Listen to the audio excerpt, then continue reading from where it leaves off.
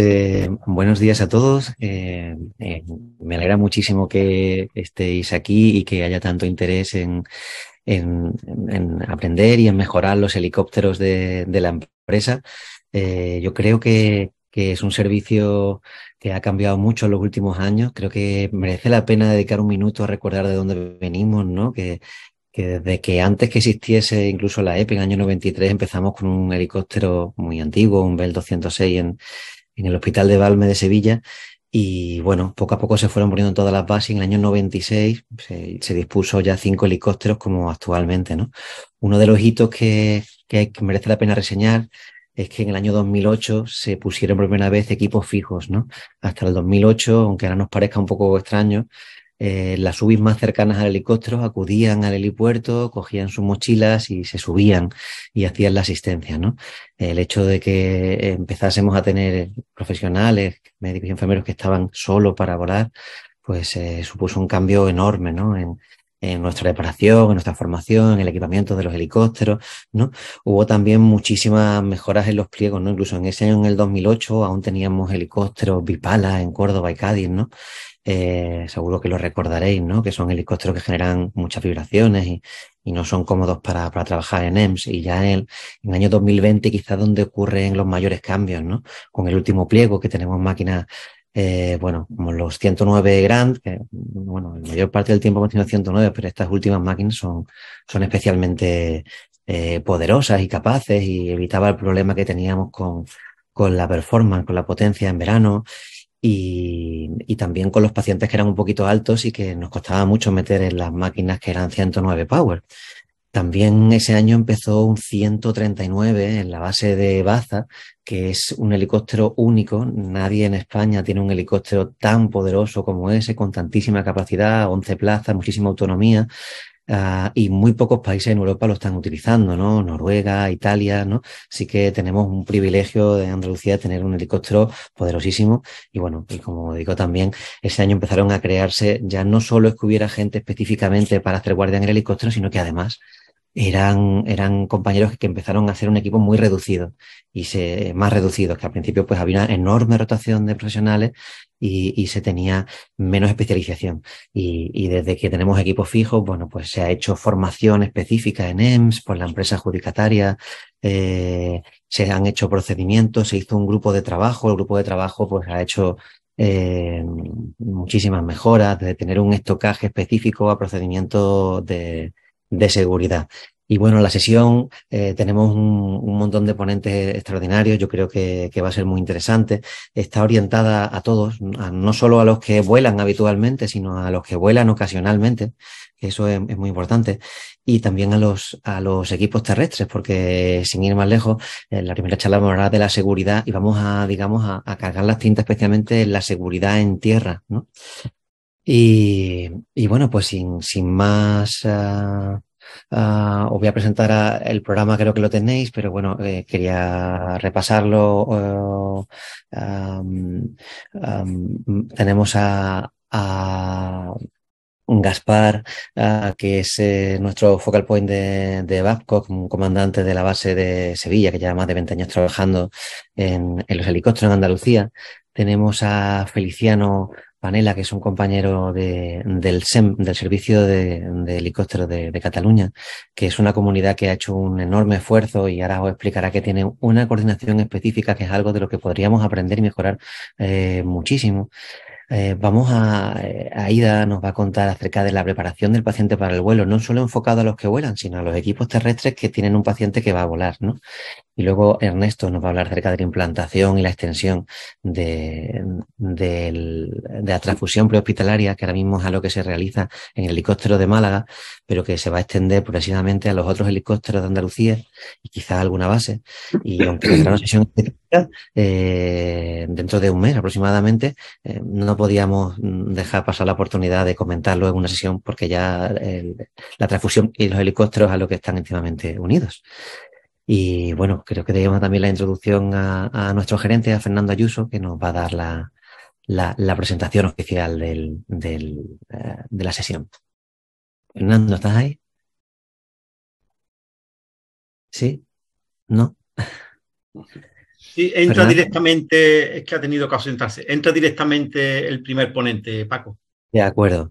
Bueno, pues, eh, pues el primer ponente, eh, eh, Gaspar Pérez, ¿vale? que nos habla de la seguridad aeronáutica en las operaciones SEMS para los equipos aéreos y para los terrestres, ¿vale?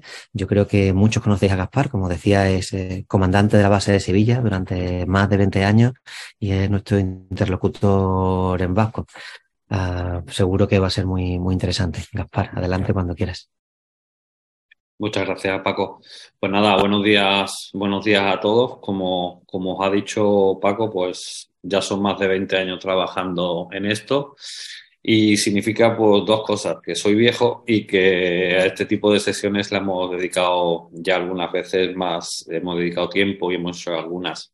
Precisamente hablando lo que ha dicho Paco, hablando el otro día, eh, estuvimos pensando que es cierto que generalmente utilizamos mucho este tipo de sesiones para hablar de lo que es la seguridad en vuelo de puertas para dentro del helicóptero, lo que es para las tripulaciones de vuelo pero realmente hay muchos más equipos terrestres que equipos de vuelo. Así que nos pareció muy interesante que pudiéramos hablar de, forma genérica de lo que de lo que es de lo que conlleva eso, de lo que conlleva convivir con el helicóptero para los equipos que no que no vuelan, porque realmente al final los equipos de vuelo tienen mucha más información, siempre hay cursos que se le dan de forma gradual y, nunca va a haber un, equipo que entre en el helicóptero sin que tenga un curso, un curso específico.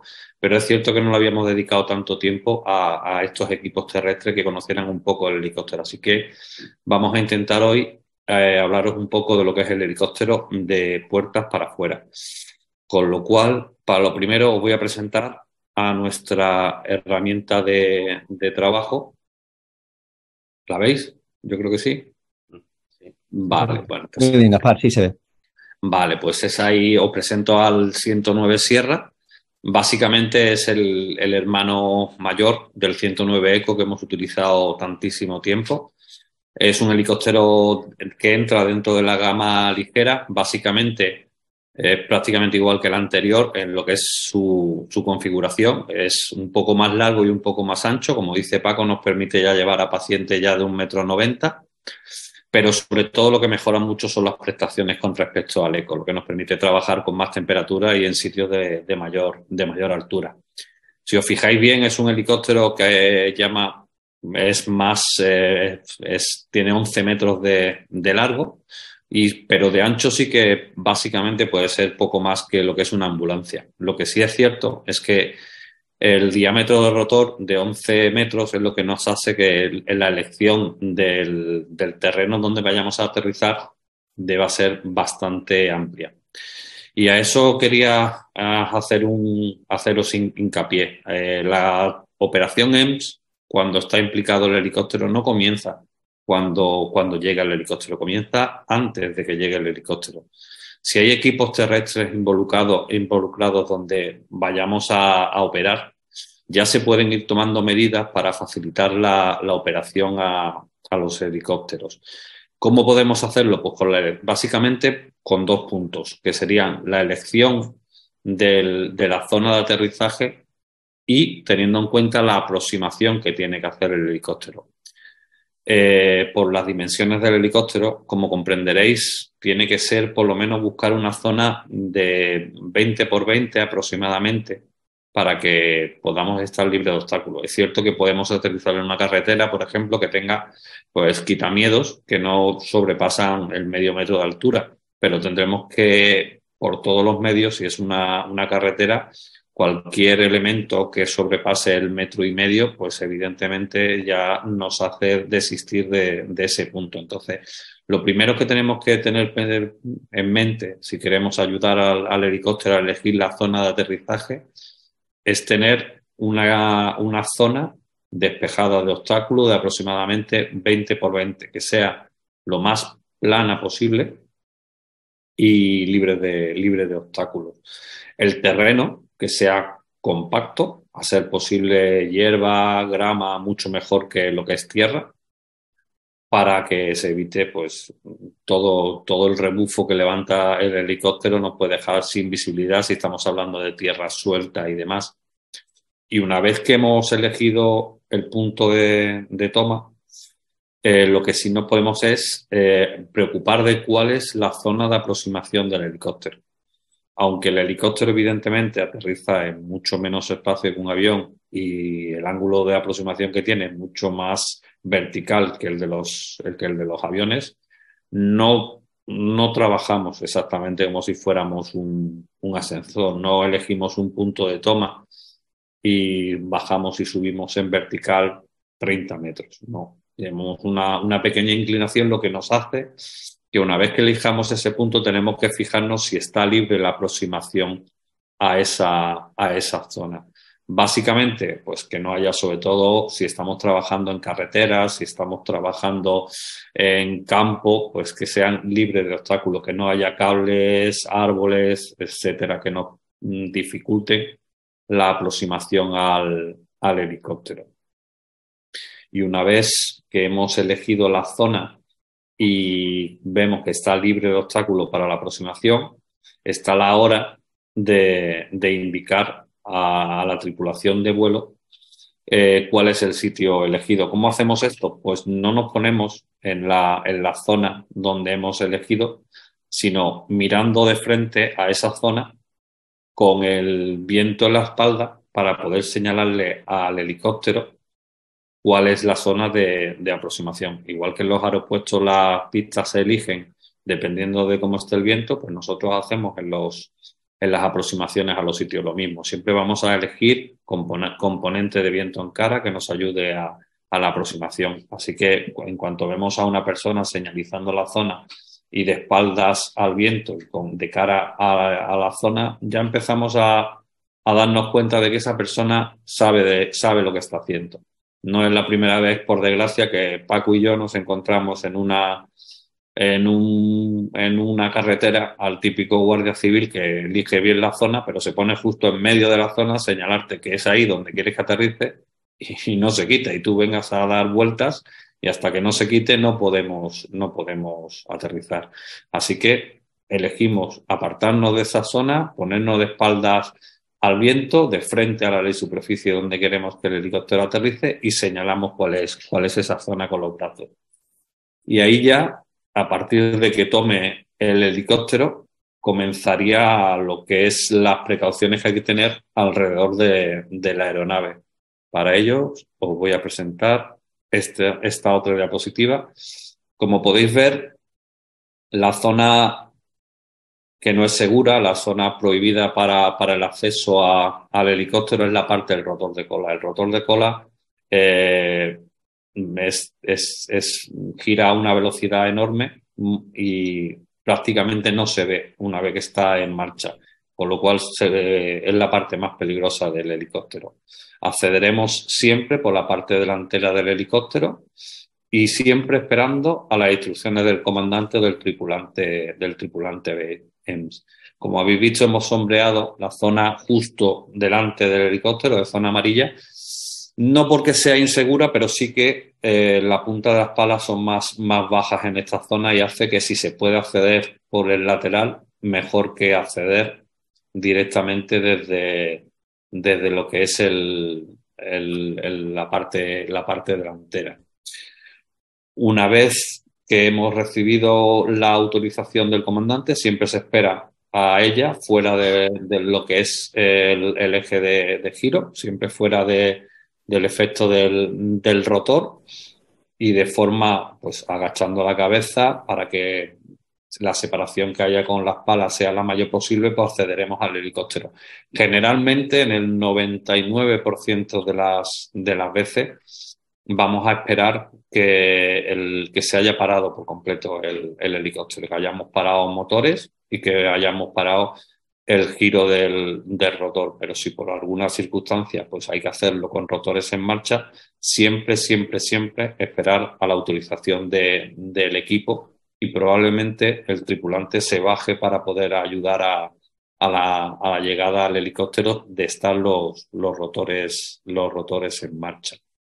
Para que os hagáis una pequeña idea, un poco más gráfica de cómo es la aproximación al helicóptero. Os he puesto esta diapositiva, como veis, la zona que va desde las 8 hasta las 4 es la zona peligrosa y la zona delantera es la que por la que accederemos.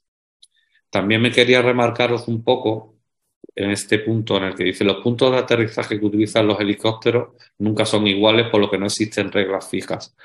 A diferencia de lo que nos encontramos cuando vamos a recepcionar un paciente en una helisuperficie, ya sea de un chare o de un hospital, el problema que nos encontramos en las carreteras, en el campo, es que las, las condiciones nunca son las mismas.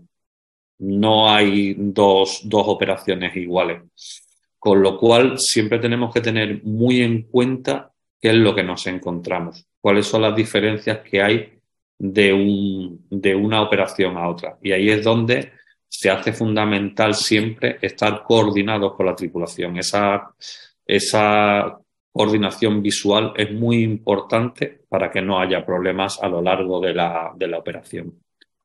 Aquí, como veis, es la misma diapositiva anterior, pero sí que lleva, quería ponerla porque lleva un poco asociado lo que pone de, llevar objetos y demás.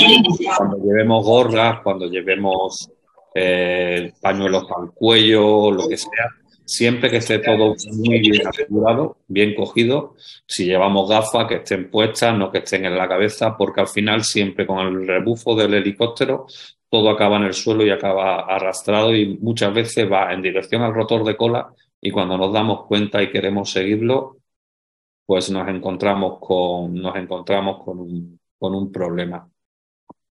Entonces, todo lo que sea acceso al helicóptero de forma tranquila, nunca corriendo. Sabemos que nuestro trabajo hay que hacerlo sin dilación, pero no con prisas.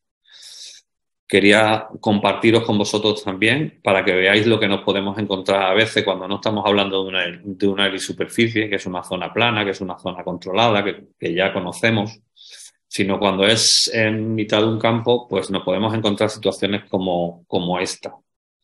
Lo recomendable siempre para acceder a un helicóptero es, es que tú estés más bajo que el helicóptero, es siempre acceder desde zona baja. Si en alguna vez vamos a una carretera y estamos accediendo al helicóptero y nosotros estamos más alto de lo que está el helicóptero, hay que tener mucho cuidado, ojo, no lo estamos haciendo bien. Rodearemos el helicóptero fuera del margen de rotor hasta que consigamos ascender hacia el helicóptero, nunca bajar hacia el helicóptero. Y al revés, cuando estemos trabajando en un helicóptero y tengamos que alejarnos de él, nunca ascenderemos la pendiente, siempre tenemos que descender la pendiente para que precisamente ese margen con el rotor sea el máximo posible y no haya ningún, ningún excedente.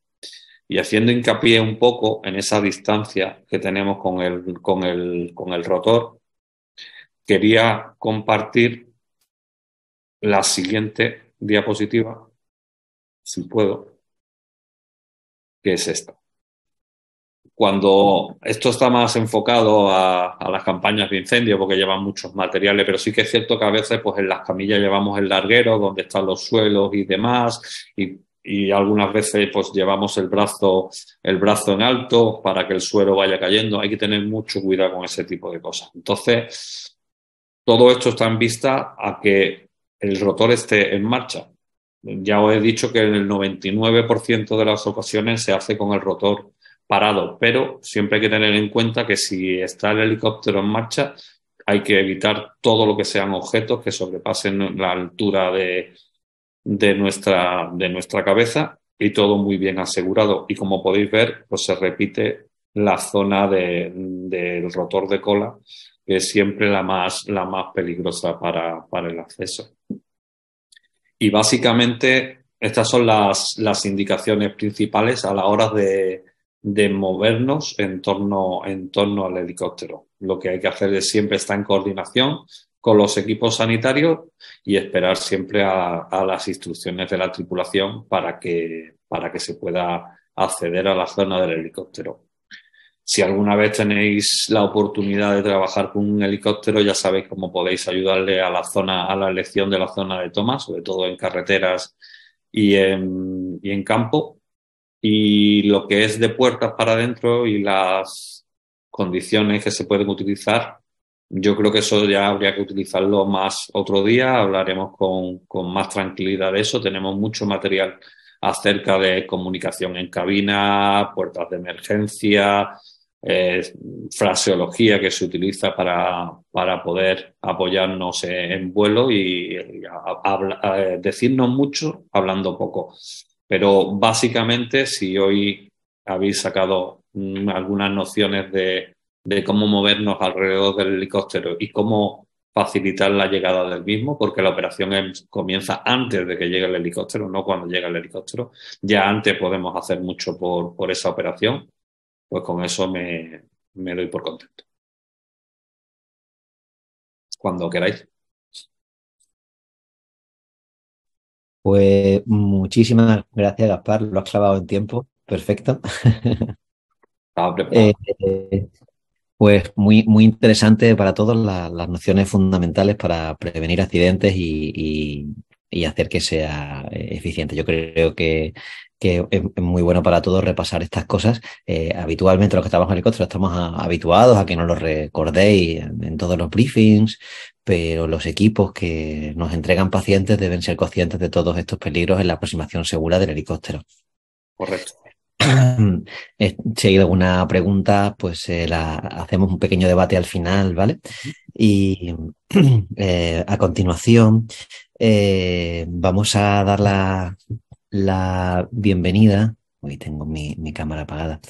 Vamos a dar la bienvenida a, a Feliciano Panela, que es, un enfermero, como decía, del, del SEM, del Servei de, Emergencias Médicas de, Cataluña.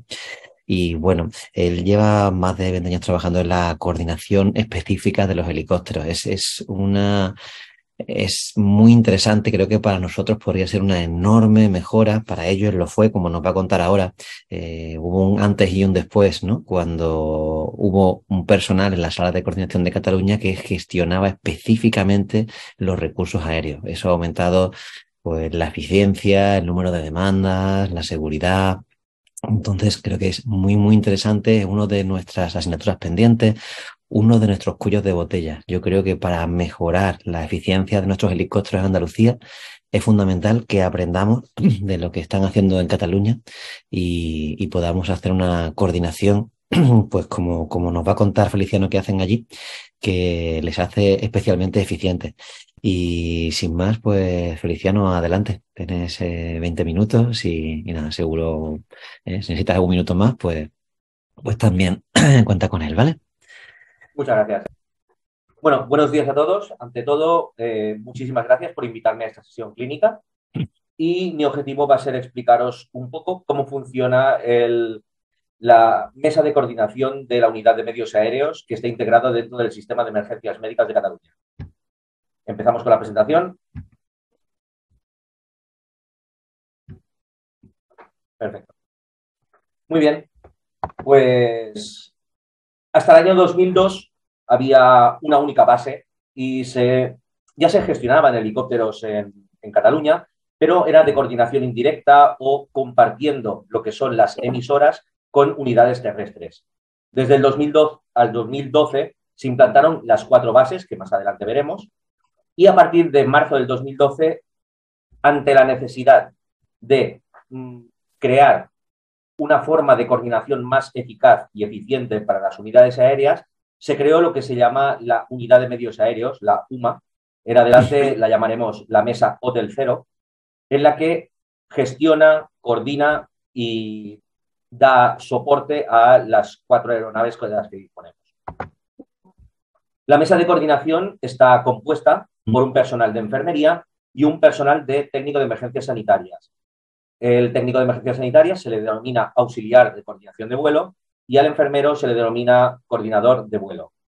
La mesa está integrada, tiene una emisora propia para los cuatro helicópteros que manejamos y con todo el soporte informático que veis, triple pantalla para cada uno, líneas telefónicas y una pantalla genérica más grande en la que podemos tener como soporte para mapas o cualquier otro tipo de necesidad. La mesa se forma, es un binomio. Las dos personas intentan localizar el incidente, dar asistencia y comunicación con las aeronaves que hacemos por radio. Las cuatro aeronaves están ubicadas en una en cada provincia. Hotel 1 es en Barcelona, completamente en la ciudad de Sabadell. Hotel 2 en la provincia de Gerona, que está en la ciudad de Girona. Hotel 3 estaría en la provincia de Lleida, en el pueblo de Trem. Y Hotel 4, que es la provincia de Tarragona, en la, eh, el pueblo de Moradero. Nuestras aeronaves son 135 T3 y 145. Eso es lo que compone nuestra flota. ¿Qué características tiene la mesa? La mesa es autónoma, tiene la capacidad de decisión. Entre el binomio se decide a qué servicio creemos que es más conveniente enviar un helicóptero. A nivel clínico, la última palabra la tiene enfermería y si tuviera algún tipo de necesidad tendría como soporte al CAP de la guardia, el jefe de la guardia de lo que es el sistema de emergencias médicas. Podemos valorar directamente con el alertante a través de líneas telefónicas, interactuamos con todas las unidades del territorio, todas las terrestres que también están implicadas en el servicio. Normalmente el helicóptero no trabaja solo, siempre en cooperación con otras unidades. Y gestionamos personalmente todas las acciones. Somos nosotros los que hablamos por emisora, somos nosotros los que interactuamos con otras, otros cuerpos de seguridad, policía, mozos de escuadra, bomberos, quien sea necesario. Aquí hay un pequeño croquis de cómo funciona el sistema de emergencias médicas en lo que es en Cataluña. El paciente llama a 112 o 061. Una, una persona que es el gestor de demanda tiene la misión de tener la ubicación del paciente y la descripción de un problema, dónde se encuentra y qué le pasa. A partir de ahí, la consultoría sanitaria, compuesta por médicos y enfermeros, intentan crear una orientación diagnóstica que hace que con una orientación diagnóstica tenemos una necesidad de un tipo de unidades, unas unidades terrestres que los gestores de recursos son los que las activan. Todo este recurso terrestre está coordinado por coordinadores técnicos y auxiliares de coordinación, que son enfermeros y técnicos de emergencia sanitaria respectivamente. Paralelamente, la mesa de vuelo, Hotel Cero, lo que hace es monitorizar todo este proceso, intentamos detectar, cazar o localizar todos esos tipos de servicios en los que se verá beneficiado un helicóptero. Intentamos localizar ubicaciones dificultosas, coordinaciones directamente con todos los cuerpos de seguridad, hablamos con los hospitales directamente y activamos los códigos que sean necesarios para la recepción de los enfermos. Nuestro objetivo, el primero, hacer llegar un recurso medicalizado lo antes posible. Eso puede ser sencillamente por la distancia, porque nosotros naturalmente vamos más rápido y en línea recta, ya sea porque la distancia es muy grande o porque la unidad terrestre ideal en ese momento está ocupada. Dos, detectar pacientes que sean tributarios de traslados a un centro útil que se encuentra lejano del lugar del incidente. Ahora miraremos. Y por último, llegar a una zona que no sea accesible por tierra. Cuando hablamos de traslado hospital útil, hablamos de pacientes con politraumáticos, IMVs, o sea, dentro del contexto de incidentes de múltiples víctimas, cuando hay un código IAM que requerirá una mesa hemodinámica, un código ictus para un rescate intraarterial de código ictus o llevarlo a un sitio con neurología. Los pacientes medulares, que eh, son pacientes más específicos que normalmente se llevan al hospital de Vallebrón, amputaciones invalidantes con posibilidades de reimplante, generalmente solo hablamos de extremidades superiores, no inferiores, grandes quemados, pacientes pediátricos que requieren una atención más especializada en un hospital terciario. Sospechas diagnósticas con hemorragias intracraneales no traumáticas que hacen efecto masa, en el que se puede beneficiar naturalmente por lo que es la, los movimientos de aceleración y deceleración del helicóptero y sus vibraciones, que también son más beneficiosas las vibraciones de un recurso aéreo que no un recurso terrestre para según qué tipos de pacientes que tengan, por ejemplo, algo tan inestable como una disección de aorta. Este es un ejemplo de hospital útil en el que, por ejemplo, vemos en líneas azules, la línea azul indicaría la distancia de un recurso medicalizado hacia un punto, que tardaría 20 minutos, pero si este paciente tuviera un infarto, debería llevarse al hospital terciario que se encuentra en esta zona y tardaría 50 minutos. El helicóptero tardaría 20 minutos en llegar y ver al paciente, que es el mismo tiempo que utilizaría la terrestre, pero ganamos el tiempo en volver directamente a lo que es al hospital que puede hacerle la intervención necesaria. En este caso sería hemodinámica en el caso de un síndrome agudo con elevación del ST. Conceptos de inaccesibilidad. Nosotros no hacemos rescates. Nuestros helicópteros no disponen de sistema de gruaje. La forma de aterrizar, nosotros para poder funcionar tenemos que aterrizar en una zona suficientemente estable, como por ejemplo ha estado explicando Gaspar anteriormente, en la que podamos detener el motor. Si no podemos detener el motor, no podemos acceder a la bodega y no podemos cargar al paciente. Por lo tanto, nuestro helicóptero tiene que estar parado. A primera hora de la mañana, la forma de empezar la guardia es una de las formas más agradables de empezar. Hacemos los briefings con los equipos sanitarios. Los hacemos por videoconferencia y hacemos cuatro briefings eh, diferenciados con las cuatro bases.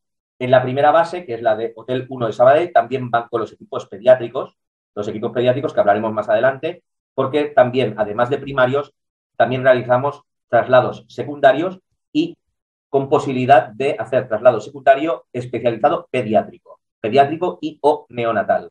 Pero eso daremos un pequeño matiz luego. En el briefing aumentamos un poco la cohesión de grupo, un poco de conciencia situacional y también hablaremos de las características que va a tener precisamente el día, ya sea por meteorología o algún tipo de incidencia que tengamos que saber sobre la aeronave. Desde la mesa, para poder elegir a qué servicio podemos ir, debemos monitorizar la meteorología. Es muy importante para nosotros la meteorología y tener consideración de cualquier tipo de incidencia climática que pueda alterar la operación. Por ejemplo, nosotros utilizamos eh, dentro de, nuestra operativa normal, podemos utilizar diversas páginas web que están al alcance público de cualquier persona. Por ejemplo, aquí tenéis las páginas Windfinder y la que es la página del Windy, la famosa Windy, y entonces nos podemos monitorizar el viento, que por ejemplo los vientos que más nos afectan a nosotros en Cataluña por nuestra orografía de terreno sería la tramuntana que viene de norte o mestral que viene de noroeste. Cuando sopla tramuntana en el norte de Cataluña, en la parte sur de Cataluña, por la canaluda del Ebro, pues sopla el mestral desde noroeste.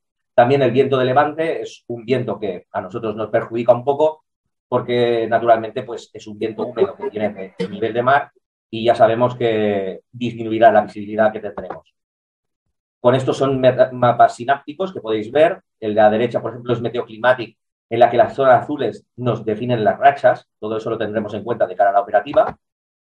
La lluvia, a través de Rain Alarm o, por ejemplo, Meteocat, también, que son monitores de lluvia para poder pensar qué zonas a lo mejor puede, en, una, en un caso de lluvia intensa, por ejemplo, si veis la escala aquí de la, del, de lo que es la página web Rain Alarm, veréis que los colores que más nos importan empezarían a partir de naranja rojo, que serían de lluvia bastante intensa. La visibilidad es lo más difícil para nosotros desde la coordinación de poder evaluar porque no tenemos cámaras en todos sitios, pero intentamos monitorizar el máximo número de zonas posibles con las páginas webcam de catalanas que tenemos allí y vamos a intentar descubrir las zonas que a lo mejor son más propicias a tener niebla o mala visibilidad.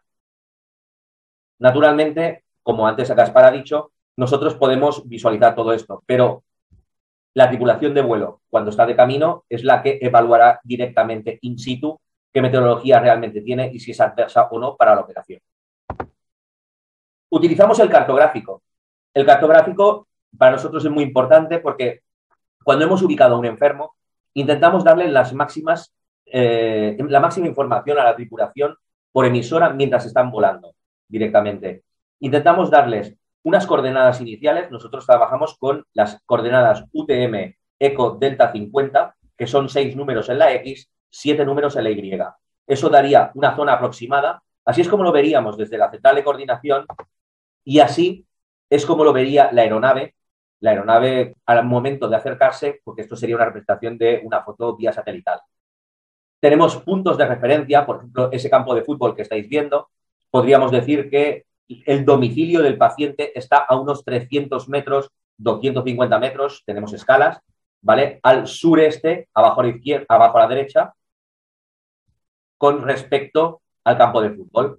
con lo cual podríamos describir de que el domicilio está a unos, con unas coordenadas iniciales que le daría esta zona y diciendo que está a unos 250 metros al sureste de la ubicación del campo de fútbol. Podríamos decir que tiene, es un edificio de forma semicircular y que encontramos zonas que a lo mejor serían propicias para el aterrizaje según vean a la medida que vayan llegando. Naturalmente, la última decisión siempre será del comandante a nivel de seguridad. También en zonas interurbanas, empezamos con los mapas un poco más lejos, nos vamos acercando e incluso podemos utilizar la herramienta Street View para poder ver cómo de plana es esta zona. Obviamente, si a la derecha es un campo de cultivo, no podemos saber realmente si la foto es estática. No sabemos si ese campo de cultivo tiene el cultivo crecido o sencillamente es llano. Pero esos puntos de aterrizaje es un poco lo que ha comentado Gaspar. Necesitaríamos una zona ligeramente plana, lo más plana posible, naturalmente, y siempre evitando lo que todo lo peor que podría ser sería la tierra y o el polvo. Así es como nosotros monitorizaríamos junto con las unidades terrestres. Los cuadrados son soporte vital básico, las redondas son soporte vital avanzado con médico y los triángulos serían soporte vital avanzado únicamente con enfermería. Y los helicópteros ya los veis ahí. Eh, la V sería un delta, un directivo. Y así es como se vería in situ a la llegada de lo que es el incidente. En este caso, el minibús afectado es este de aquí. ¿Qué hemos conseguido con esto? Eh, desde la creación de la UMA, el 2011 es el último año que se trabajó sin que hubiera la mesa de coordinación de la unidad de medios aéreos. Podéis ver aquí directamente estos 1.520 pacientes que se atendieron en el 2011 en frente de 1.966 en el 2012. Las horas de vuelo invertidas en 2011 frente al 2012, que es un incremento que creemos que la eficiencia quedó bastante remarcada más gráficas de diferencias entre servicios y horas de vuelo durante los últimos 10 años. Nosotros llevamos operando ya, en marzo haremos 11 años que llevamos operando como unidad de medios aéreos, la mesa de hotel cero. Vemos también aquí la diferencia entre tipología de servicios primarios, transporte interhospitalario adultos y transporte interhospitalario pediátrico. Aquí sería diferencia entre los servicios primarios entre los que son médicos y traumatológicos y entre los traslados interhospitalarios de adultos y pediátricos las diferencias que hay. Lo que os enseño ahora, lo que os enseño ahora es, perdón, lo que os enseño ahora es la incubadora que os he dicho de que podemos pediatrizar el helicóptero, lo podemos pediatrizar para hacer un traslado interhospitalario pediátrico y o neonatal y es la incubadora, la última que tenemos ahora mismo, que puede equiparse en el helicóptero Hotel 1, el que se encuentra en Sabadell, y a partir de ahí puedes hacer el servicio. Ocasionalmente también pueden hacer primarios. Los equipos de pediatría se encuentran en el Hospital de San Pau y en el Hospital Partaulí. En el caso de que se active el equipo de pediatría, se bajaría el médico y enfermero, el médico y enfermero de adultos y subiría el médico y enfermero de pediatría. Feliciano, mira a ver si tienes ruido de fondo por ahí, que ahí eh, están todos los micros apagados y hay un ruido, no se oye bien, no sé si eres tú o es alguien. Eh, hay, creo que hay uno, Guillermo García tiene abierto el micro. ¿Lo veis? Guillermo tiene el micrófono abierto, sí. Administrador, por si puedes silenciarle. Ya está. Vale. Gracias. Eh, nosotros ahora lo que empezamos a practicar es el vuelo nocturno, ¿vale? El vuelo nocturno ya sabéis que hemos empezado a aplicarlo hace unos cinco años, ¿vale? Empezamos en el 2016 y nos basamos en Visual Flight Rate, que en un principio serían las, eh, las reglas visuales. Pese a que sea vuelo nocturno, nosotros partimos aún, hacemos un vuelo parcialmente visual, no es totalmente instrumental vamos siguiendo puntos de luz. Los servicios primarios de los que hemos hablado siempre se hacen de orto a ocaso. Los secundarios que ahora podemos realizar de noche son de ocaso a orto y solo se pueden hacer en las helisuperficies hospitalarias de Cataluña que están habilitadas 24 horas, que actualmente tenemos 16 helisuperficies, que es este listado de aquí. Se han generado una serie de rutas de luz en las que el helicóptero que funciona 24 horas únicamente es el que está en el centro de Cataluña, en Barcelona, en Sabadell, y puede dar soporte para hacer traslado secundario. No puede hacer primario porque solo puede aterrizar, solo puede aterrizar en las helisuperficies marcadas. Si fuera un primario, debería ser un primario diferido. O sea, una unidad terrestre debería llevarlo a un hospital en la que la helisuperficie está habilitada para el vuelo nocturno. Esto es otro, otra diapositiva en la que podéis ver un poco las diferentes rutas que coinciden siempre con líneas de luz.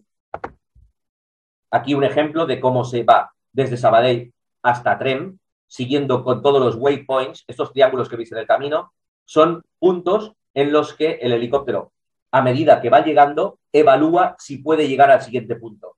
Porque naturalmente, aunque volemos de noche y nuestro vuelo no es totalmente instrumental, se basa en los puntos de luz, la visibilidad y la meteorología también influiría para poder llegar o no al servicio que tengamos que ubicar. ¿Qué características tenemos? Pues que solo hay un helicóptero de momento para la cobertura nocturna 24 horas. La meteorología es muy importante porque es multisectorial. Naturalmente, por las grandes distancias que se recorren, que es de punta a punta de Cataluña, hay que tener un concepto de meteorología muy, muy eh, certero, lo más certero posible. Requiere un plan de vuelo, que son las rutas que os he enseñado hace un momento. Las velocidades medias son de 220 kilómetros por hora y los waypoints que habíamos comentado, que son cada 15 millas, son 28 kilómetros aproximadamente, son los puntos en los que indica si se puede seguir al siguiente waypoint y continuar con la misión. Y naturalmente, valorar cuáles son las alturas que debemos sobrepasar, pues para, por ejemplo, eh, atravesar lo que es una cordillera montañosa. Los traslados interhospitalarios debemos pensar siempre si el paciente es tiempo dependiente, qué tipo de traslado es, si es un tipo de traslado en el que se beneficia de un traslado en helicóptero, como habíamos hablado antes, por ejemplo, los movimientos de aceleración, deceleración que en el helicóptero son constantes, o las vibraciones que serían, por ejemplo, para las disecciones de aorta o cualquier otro tipo de enfermo. Y si la unidad ideal está ocupada. Naturalmente, a veces el servicio ideal se podría hacer con una unidad terrestre, pero por alguna razón, pues no está ocupada porque está trabajando o está inoperativa por cualquier razón. Estos son los, disculpadme, antes he dicho que empezamos a volar el 2016, mentira, 2018, disculpadme, ¿vale? Empezamos a volar en vuelo nocturno desde el 2018 y estos son los servicios que se han realizado hasta, hasta ahora. No son muchos, son los números que de momento tenemos, pero también estamos empezando y dando nuestros primeros pasos. Veréis que hay servicios que pone primarios. Significa servicios que hemos llegado al paciente entre orto y ocaso, hemos cargado el paciente dentro de orto y ocaso y no nos hemos elevado dentro de orto y ocaso. Y el vuelo se ha hecho ya posterior al ocaso. ¿Vale? Por lo tanto, si por ejemplo el sol se ponía a las 19.35, nuestro objetivo era tener el paciente dentro del helicóptero y estar en el aire, en el aire a las 19.35. A partir de ese momento, entramos en vuelo nocturno y nos dirigimos al hospital destino. Por eso son estos servicios primarios que tenemos marcados aquí. Muchísimas gracias a todos por vuestra atención y espero que haya sido de vuestro interés. Muchísimas gracias, Feliciano, por la charla magnífica. Eh, creo que es especialmente interesante eh, lo que estáis, lo que estáis haciendo allí y nos puede ser muy, muy útil. Yo creo que mis compañeros seguro que coincidirán en que eh, nuestra mejora de la eficiencia de nuestro servicio va por ese camino. Yo me llevo muchas, bueno, ya conocía la, mesa por, por, congresos, situaciones previas y, me parecía fundamental que estuvieseis aquí. Y, y nada, yo creo que comentar no solo la eficiencia de la mesa, la implicación de estos enfermeros y técnicos especializados, eh, cosas tan interesantes como el briefing que hacéis con los equipos cada mañana. Y el, el, incremento de la demanda, que vi que fue casi de un 33% más de servicios de helicópteros entre el año 2011 y el 2012 con la incorporación de la mesa, eh, creo que eso es algo eh, maravilloso para un servicio que sería muchísimo más eficiente. ¿no? Queda clarísimo que, que, que mm, sería muy, muy útil.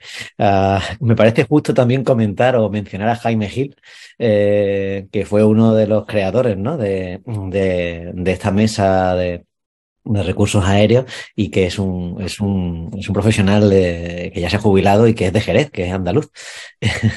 Sí, sí, no, no. Además, bueno, lo crearon, lo crearon Jaime y Merche. Merche aún está con nosotros. O sea, pero sí, sí, eso es correcto.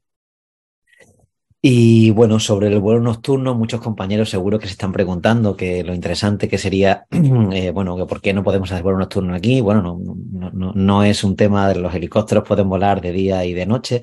Es más que nada una inversión en infraestructura. Lo importante es que, como veis, que son principalmente traslados secundarios, los hospitales eh, de origen y destinos tengan helipuertos preparados para poder operar de noche.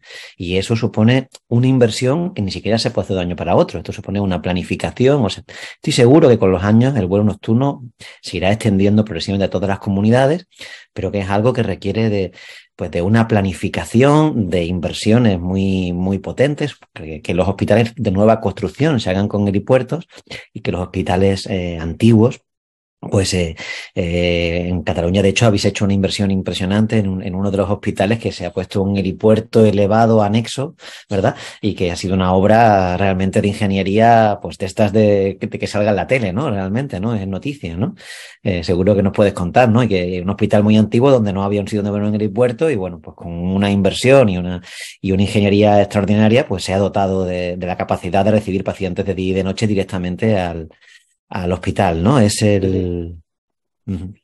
Vallebrón. Valdebrón, exactamente. Pues. Vallebrón, eh... históricamente tenía ya una superficie, pero no era.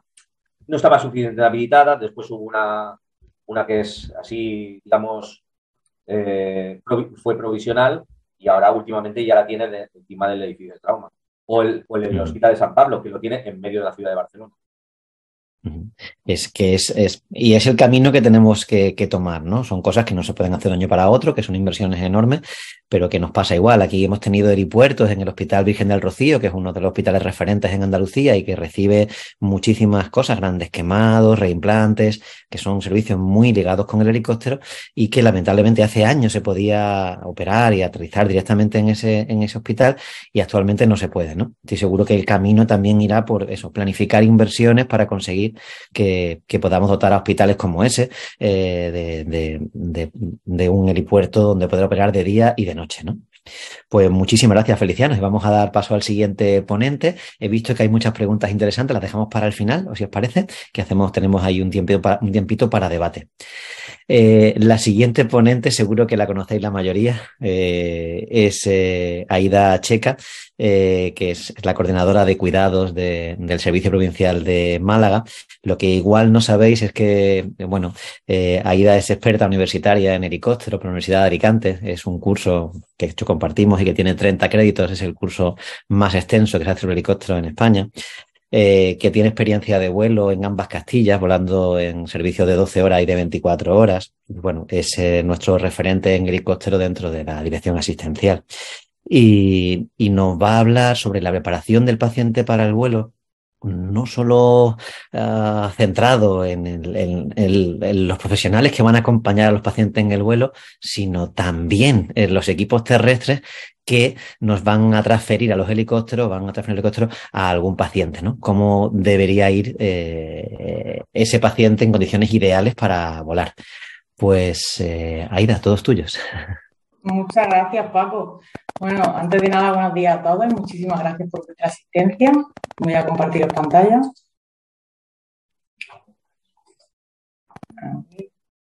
¿Se escucha bien, Paco? Se escucha muy bien y se ve la pantalla. Perfecto. A ver si. Vale, se ve bien, ¿no? Perfectamente, muy bien. Perfecto, pantalla completa, estupendo, muy bien. Vale, pues vamos a comenzar con la presentación de la preparación para el vuelo, que me gustaría darle las gracias también a Domingo, que es un enfermero del helicóptero de Cádiz, que ha colaborado en la elaboración de esta presentación. Y vamos a comenzar, a ver si me pasa. Vale, a modo de introducción vamos a empezar un poco con la presentación de los modelos de helicópteros que tenemos en Andalucía. Como nos ha dicho Gaspar, tenemos el 109 Gran y el 139. El 109 es un helicóptero tipo ligero que opera en Málaga, Córdoba, Sevilla y Huelva. Y el 139 es un helicóptero tipo medio que lo tenemos en Baza, en la provincia de, Granada. Y principalmente se encuentra este modelo allí por las características del territorio en el que opera. Aida, disculpa, se escucha mucho ruido de fondo como si fuese un teclado o que el micrófono esté rozando con algo y están todos los micros silenciados. Igual en tu micrófono eh, hay algo de ruido porque no veo a nadie más. A ver si hay algún roce o tecleo. Ahora no se escucha nada. Es como si fuese el tecleo que se escucha mucho, no sé. Pues no estoy haciendo absolutamente nada. Vale, va, se escucha, se entiende bien, ¿vale? Pero hay un poco de ruido y, están todos los micros silenciados. Mira, Paco, si ves que se pone que no es muy agradable, si quieres eh, salgo y entro, que, que así lo hemos hecho antes para que el micro funcionase mejor. Vale, pues venga, pues inténtalo perfecto, venga, sí. Salí, entra y, te damos. Vale, perfecto. Muy bien.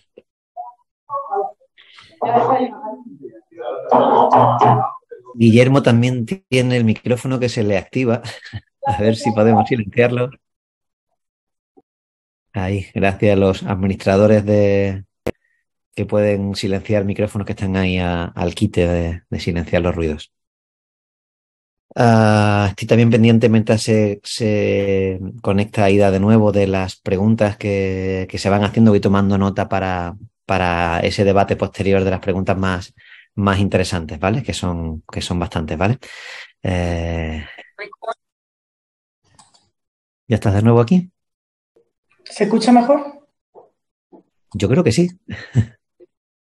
A ver qué tal, Como un tecleo o algo así, o un roce. Adelante. Venga. ¿Se ve la, ¿se ve la presentación? Perfectamente, sí. No está pantalla completa todavía, pero se ve bien. Venga, a ver si. Ahora, ¿no? Perfectamente, muy bien. Venga. Vale, pues continuamos. Vale. Bueno, como sabéis, el objetivo principal del traslado aéreo pues, es la reducción del tiempo, porque el diagnóstico precoz, el inicio temprano de un tratamiento, pues aumenta las posibilidades de curación y minimiza los riesgos de las secuelas de nuestros pacientes. En el traslado aéreo tenemos que tener en cuenta que existe una serie de condicionantes, tanto físicos de la aeronave como condicionantes aeronáuticos o los fisiopatológicos. Los condicionantes físicos de la aeronave nos podemos, el principal, nos podemos encontrar la capacidad de carga, que es el peso máximo al despegue y depende de, del modelo de helicóptero y los condicionantes meteorológicos, las dimensiones de las cabinas asistenciales, y aquí tenemos, la, eh, esta es la cabina asistencial del helicóptero 109, como veis bastante pequeñita y, cerquita del paciente, y aquí tenéis la cabina asistencial del 139, bastante más amplia, con mayor capacidad incluso de uso de doble camilla. Ambos modelos tienen el embarque lateral, porque otra peculiaridad es la accesibilidad, pero como no un compañero de, Cataluña, eh, hay algunos modelos que tienen el embarque trasero. Y como condicionante aeronáutico, tener en cuenta la meteorología, que es el factor principal para poder operar, la autonomía del vuelo, las dimensiones de los puntos de toma y las necesidades de la superficie, como hemos comentado anteriormente, los helicópteros aterrizan en cualquier punto, pero necesitan unas condiciones mínimas para de espacio y la necesidad de la superficie en los hospitales para evitar esos desplazamientos terrestres y aumento de tiempo para, llevar al paciente a, los hospitales de referencia. Como veis, algunos, como está la superficie de cruces de Bilbao, que tiene directamente el acceso a crítico y vamos, un tiempo precioso que nos ahorramos. Y también pues necesitan que toda, toda la electromedicina que llevamos en los helicópteros, pues necesitan de que hayan pasado una previa certificación de vuelo.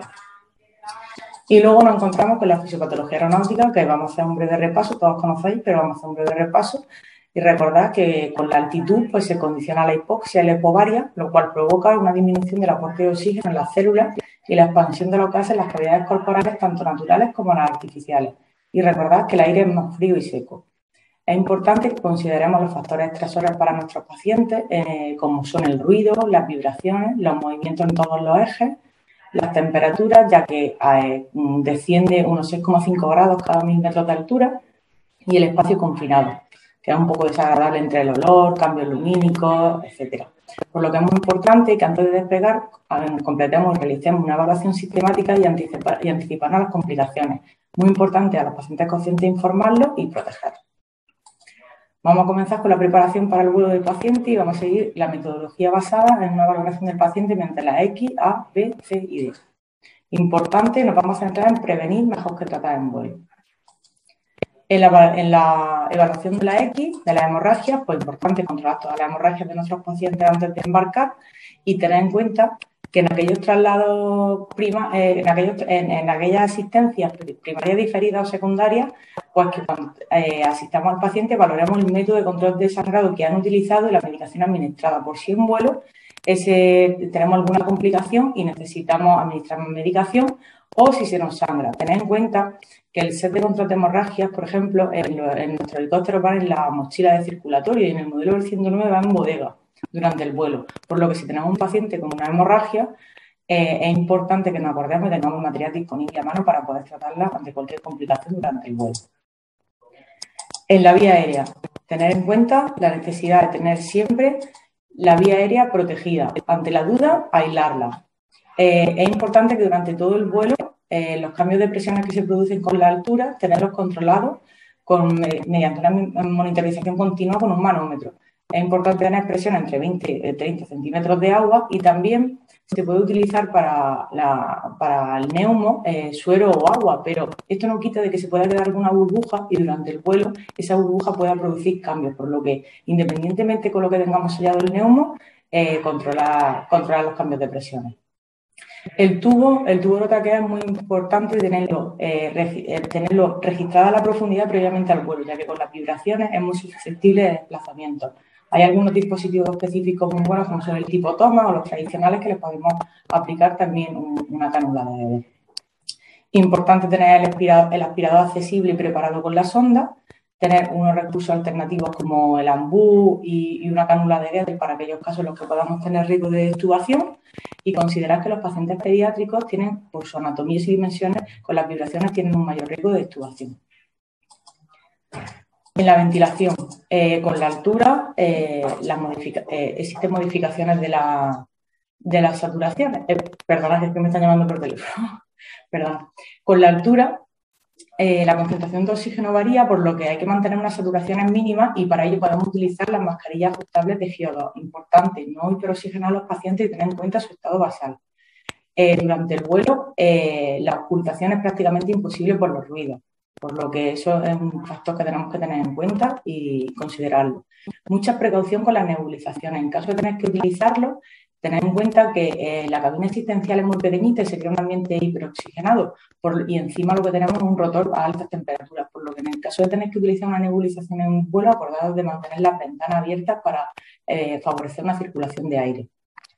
En la ventilación mecánica no invasiva, eh, cuando tengamos que utilizarla, intentar adaptarla antes del vuelo para comprobar y tener un buen feedback del paciente que está correctamente adaptado y durante el vuelo acordado de tener una vigilancia continua visual y, eh, eh, para que, y, un acceso rápido de poder retirarla para en el momento que nosotros veamos que nuestro paciente está nauseoso o, tiene riesgo de vómito.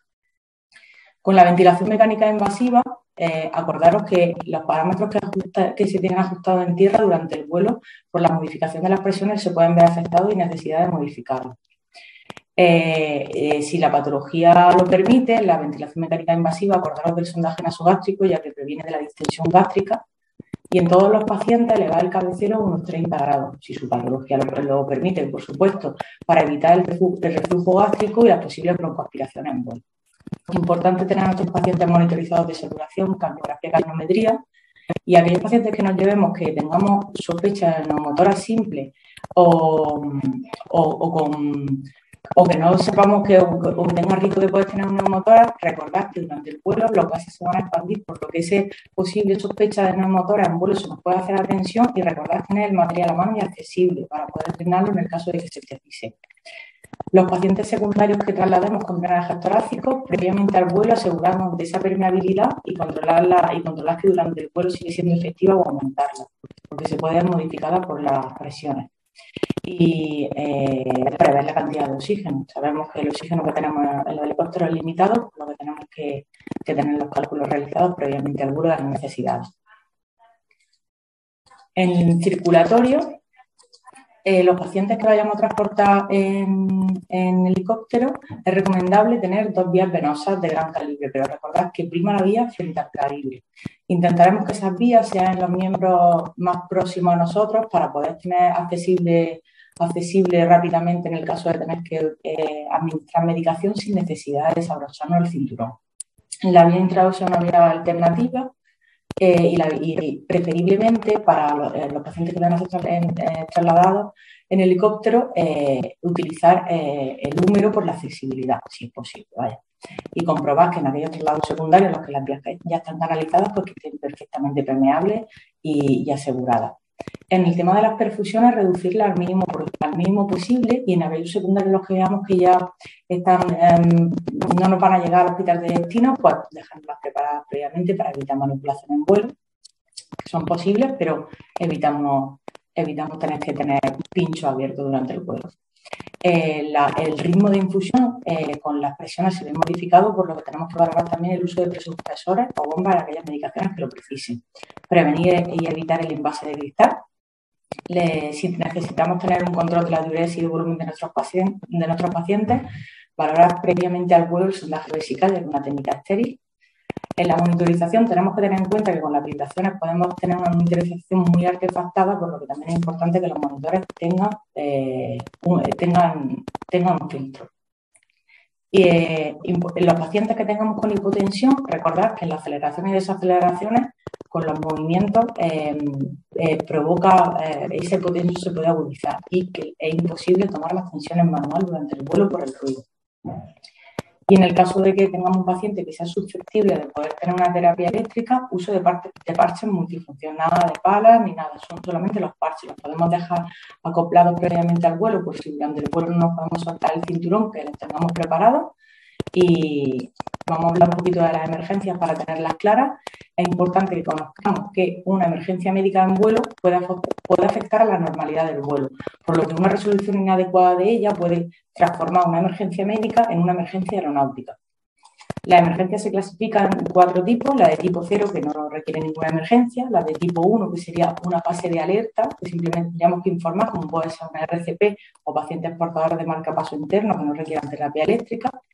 Tipo 2, aquellos pacientes con marcapaso externo, portadores de un DAI o balón de contrapulsación, deberemos de, estar, informar la tripulación de vuelo y estar atentos a cualquier cambio. Y ya la emergencia tipo 3, que son las más críticas, que la defibrilación en vuelo o reversión eléctrica de arritmia. Son importantes eh, detectarla y saber actuar en vuelo, ya que tiene un riesgo de propagarse esa descarga y que pasa a las estructuras de helicópteros, los instrumentos de aviónica o radiofrecuencia, incluso a uno de los tripulantes y sanitarios por lo que se puede descargar y utilizar terapia en vuelo, pero es muy importante comunicarlo y siempre que nuestro paciente se encuentre eh, dentro del colchón de vacío, ya que es el único aislante entre el paciente y la estructura del helicóptero. El proceso sería el siguiente, que sería detectar la emergencia informar a la tripulación de vuelo, proceder con el procedimiento e iniciar precozmente una RCP. En el momento que, necesitemos, que, detectemos la necesidad de fibrilar, comunicárselo al piloto y aplicar el protocolo de fibrilación en el vuelo. Si es posible, intentar aterrizar y si no, continuar con la terapia eléctrica en vuelo. Recordad que estos pacientes, para poder desfibrilar, como he dicho, necesitan el estar en el colchón de vacío y que el oxígeno permanezca constantemente. En la parte neurológica, eh, los pacientes es importante que conozcamos su situación basal, susceptible de evolucionar. Por ejemplo, si tenemos un paciente que nos dicen que, tiene alguna demencia o algún tipo de trastorno, pues conocerla y podemos eh, y nos pueden informar, pues es bueno, bueno tenerla por si hay alguna evolución durante el vuelo, que no nos asustemos. En aquellos pacientes que estén muy agitados, psicóticos, ese tipo de pacientes está, tenemos que tener al paciente muy, muy bien controlado previamente al vuelo, incluso valorar una intubación si precisa, eh, informar a la tripulación de vuelo y en el caso de que tenga cualquier riesgo de, de seguridad en el vuelo, pues valorar el traslado por tierra. Tener en cuenta precaución con los traumatismos craneoencefálicos y con los traumatismos craneoencefálicos con la posible afectación secundaria al trauma que pueden hacer durante el vuelo. Registrar la evolución del estado neurológico mediante el uso de escala o BIS. Prevenir el efecto estroboscópico en los pacientes, que le podemos hacer un poquito de sombra en los ojos si vemos que son susceptibles.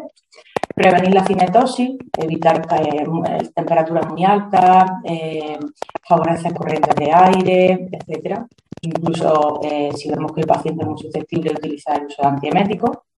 A los pacientes conscientes, informar de la comunicación no verbal en vuelo, esto le reduce, bastante la ansiedad. Y tener en cuenta que las aceleraciones y desaceleraciones, eh, la PIC puede verse condicionada el aumento de la presión intercraneal. En la exposición, importante eh, tener asegurados todos los elementos que tengamos en la cabina asistencial, eh, valorar la posición del traslado por las modificaciones que se tienen en el organismo en las aceleraciones y desaceleraciones. La inmovilización, cuando tenemos un paciente politrauma con el vacío hecho, tener el control de la presión de la célula y del colchón de vacío, sobre todo en los momentos de despegue y aterrizaje, ya que las presiones se ven condicionadas y así el vacío que se puede haciendo. Es importante que tengamos la válvula accesible y a mano para, en el caso de, tener que realizar cualquier modificación, y considerar que, están, tener en cuenta que están contraindicadas las pruebas neumáticas por la expresión de gases que se puede hacer en altura y lesiones. Eh, para prevenir las aplicaciones del vuelo, el uso del colchón de vacío, como la, tienen que la, el colchón de vacío, pues eh, absorbe esas aplicaciones de, de helicóptero. Importante el control térmico, en especial en aquellos pacientes como más susceptibles como son los grandes quemados, eh, la hipotermia prevenirla, retirar la ropa húmeda, uso de sábanas, calefacción, suelo caliente, incluso el colchón nos sirve también un poco para protegerlo. Y en, la en el caso de la hipertermia, pues tener el colchón de vacío, por supuesto, pero mantenerlo abierto, eh, favorecer la ventilación, aire acondicionado, etc. El ruido pondremos a todos los pacientes, tanto pacientes como inconscientes con protección acústica, ya que aquellos pacientes que estén relajados previene, les previene también de la sobreestimulación. Considerar que todos los objetos enclavados tienen, eh, deben estar bien fijados previamente al vuelo porque con las limitaciones generan riesgo de, de, desplazamiento y, y de agudizarse la lesión importante tener los EPI, los EPI eh, tanto sanitarios como el paciente y siguiendo los, protocolos.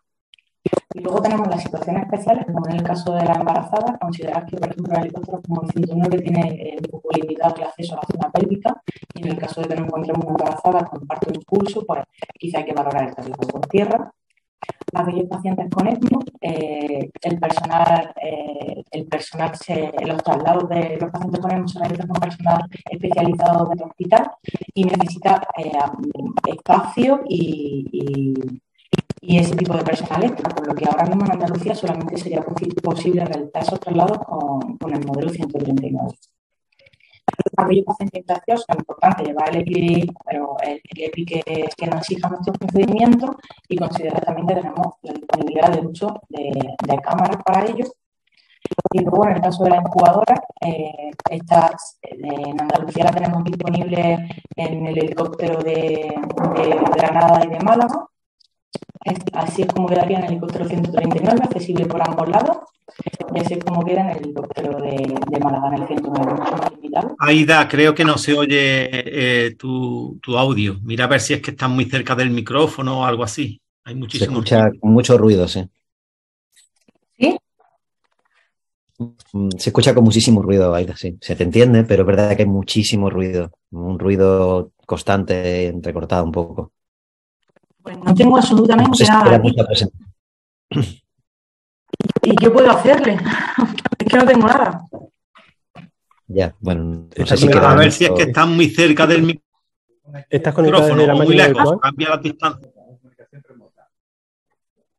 yo, creo que es, em. yo creo que es problema del micro. De o de cobertura. Yo creo que igual tienes mala cobertura, mal internet donde estás. Sí, porque hoy durante las pruebas se te oía perfectamente, no, no estaba este sonido. Puede ser un tema de, de, cobertura o algo de eso. O, o algún ¿Pero se escucha para terminarlo? Se te escucha muy mal. ¿se escucha? Entrecortada, que no tienes cobertura, yo creo. Tienes mala señal. mal eh, pues ya no sé. no, sé ya qué hacerle. Ya, bueno, estoy terminando, ¿eh? Ya, termina, ¿no? Porque te oímos recortada, pero te oímos. Sí, concluye. Yo creo que más o menos se ha entendido. Dificultoso, pero se entiende. Vale, bueno, termino porque quedan dos presentaciones. Importante, eh, eh, previo al despegue, pues informar a la familia cómo está la seguridad vial. En el traslado de menores, valorar el riesgo-beneficio, si, se puede, si hay disponibilidad de poder ir acompañado, en el caso de, de poder ir acompañado, valorar el riesgo Disculpa, Ida, prueba a quitar la cámara, a ver si así todo el ancho de banda se usa para el audio, ¿vale? Perfecto. Por eso la he quitado antes, a ver. ¿Un poquito mejor? Con mucho ruido. continúa, vamos a acabar la presentación igualmente. Sí, termino comunicar a la administración el perfil de vuelo óptimo, las comunicaciones necesarias intentar eh, dejar eh, llamar a la asociación coordinador o de referencia para los avisos que se necesite y comprobar que tenemos todo el material y un buen método del uso del checklist. Pues muchísimas gracias, Aida, por la presentación, aunque es verdad que ha sido un poquito eh, dificultoso, algún problema con el micro, con la cobertura o, algo así, pero muy interesante. Hemos repasado todos los temas eh, fundamentales para la hora de, embarcar un paciente en el helicóptero, tanto para los equipos que van a hablar con él como para los equipos que le van a pasar el paciente a los compañeros que vuelan. Y yo, entre las muchas cosas que, digo, me, que, has, que has dicho, tan interesante, me gustaría remarcar la importancia que tiene el colchón de vacío, eh, que es un tema fundamental en la seguridad, que, que no solo aísla al paciente de la estructura del helicóptero para si hay que administrar una terapia eléctrica en vuelo, y es algo que no puedes colocar cuando ya estás en vuelo, sino como además eh, mm, evita o mm, minimiza las vibraciones durante el vuelo. Las vibraciones son inevitables, pero podemos mitigarlas con el uso del colchón de vacío. En su contra, es verdad que es relativamente voluminoso, aunque el modelo que tenemos ahora es, es el más compacto que hemos tenido nunca. Y y luego, pues también entre las pegas es que pues da calor, evidentemente, ¿no? En verano eh, el paciente ahí envuelto, pues eh, pasa, pasa calor, ¿no? Eh, incluso también en invierno el tema de que si el colchón está en la noche en el helicóptero y esa noche hace una temperatura muy, muy baja en la base, cuando pones un paciente a primera hora de la mañana sobre el colchón de vacío, pues está helado, ¿no? Y eso le roba calor a un paciente y para algún paciente de víctima de trauma, por ejemplo, puede ser un tema importante, con lo que es importante también colocar algún tipo de manta sobre el colchón de vacío antes de colocar al paciente. Bueno, pues creo que ha habido algunas preguntas interesantes que abordaremos después de la última charla. Eh, paso a presentar a Ernesto Muñoz, que es enfermero compañero del helicóptero de Málaga. Eh, muchos le conoceréis porque es un gran docente que tiene muchísima trayectoria como instructor en muchos programas. Muchas gracias, Paco. y bueno, igual lo que no sabéis todos es que Ernesto es el referente del grupo de, trabajo que, o de la comisión, del comité, o como queramos llamarlo, que ha desarrollado un sistema para transfusión prehospitalaria que si bien no es el primero que se hace en España, porque ya se está haciendo en Castilla-La Mancha, en Cataluña y en Aragón, sí que es un sistema que a pasar de ser el último, es uno de los más eficientes y seguros eh, eh, tiene varios detalles que lo hacen realmente diferente a, lo demás y entre ellos, pues el, digamos, el hardware que se utiliza, ¿no? Las neveras que estamos utilizando son, son muy, muy seguras porque no se utiliza material congelado. Es importante que la sangre no se caliente eh, más allá de entre 6 y 10 grados, pero que tampoco se enfríe más abajo de 1 o 2 grados, ¿no? Porque ambas cosas podrían provocar hemólisis y eso sería un grave problema para la seguridad del paciente si no estamos absolutamente seguros que la sangre que le administramos está en perfecto estado, ¿no? Incluso cuando la devolvemos al hospital. Entonces, desarrollar este procedimiento ha requerido un, unos estándares de seguridad magníficos y, han salido también eh, que los hematólogos en algún congreso pues nos han, nos han dado un premio nacional ¿no? al, al, sistema que estamos utilizando en Málaga, que os va a detallar ahora y que, y que pronto esperamos que se va a ir extendiendo poco a poco al resto de los, de los helicópteros. Pues eh, Ernesto, todo es tuyo, cuéntanos. Eh. Ah, muy bien, pues nada, pues nada Paco, muchísimas gracias. Y bueno, comentar solo que, bueno, en estos 15-20 minutos que, tengo, lo que pienso es contextualizar un poco lo que es en sí el proyecto nuestro de transfusión sanguínea extrahospitalaria y no voy a entrar al detalle realmente de ninguna operativa. Eso lo vamos a ver el mes próximo, que me ha confirmado hoy Manuel de la Cal, que la siguiente sesión webinar eh, va a ser justamente sobre todo el procedimiento nuestro de transfusión extrahospitalaria. Voy a compartir pantalla para empezar. Comentarme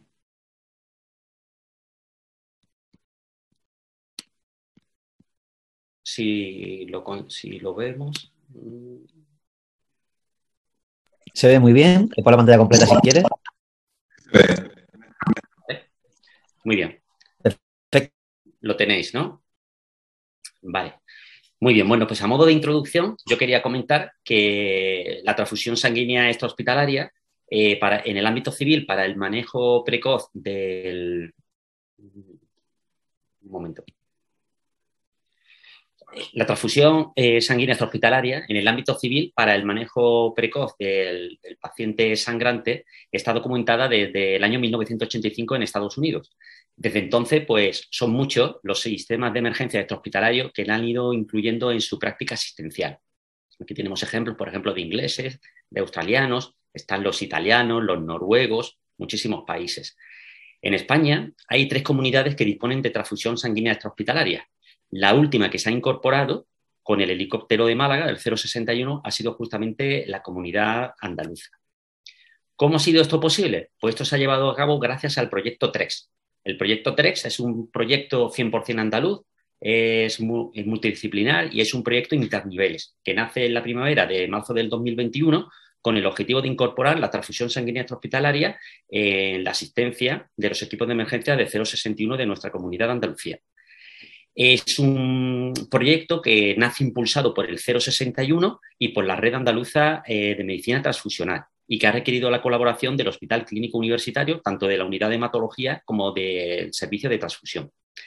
Y comentaros que, bueno, este proyecto cuando empieza, empieza con muchísimas dudas, con muchísimas preguntas, sin saber ni siquiera si íbamos a llevarlo a buen puerto, y comentaros que 18 meses después podemos decir que actualmente en el ELMA es una realidad, no hablamos de proyecto 3, hablamos ya de procedimiento 3, de procedimiento de transfusión extrahospitalaria, y nos hemos convertido en la primera y hasta ahora única base y único recurso extrahospitalario de Andalucía que tiene capacidad depositaria y capacidad transfusional.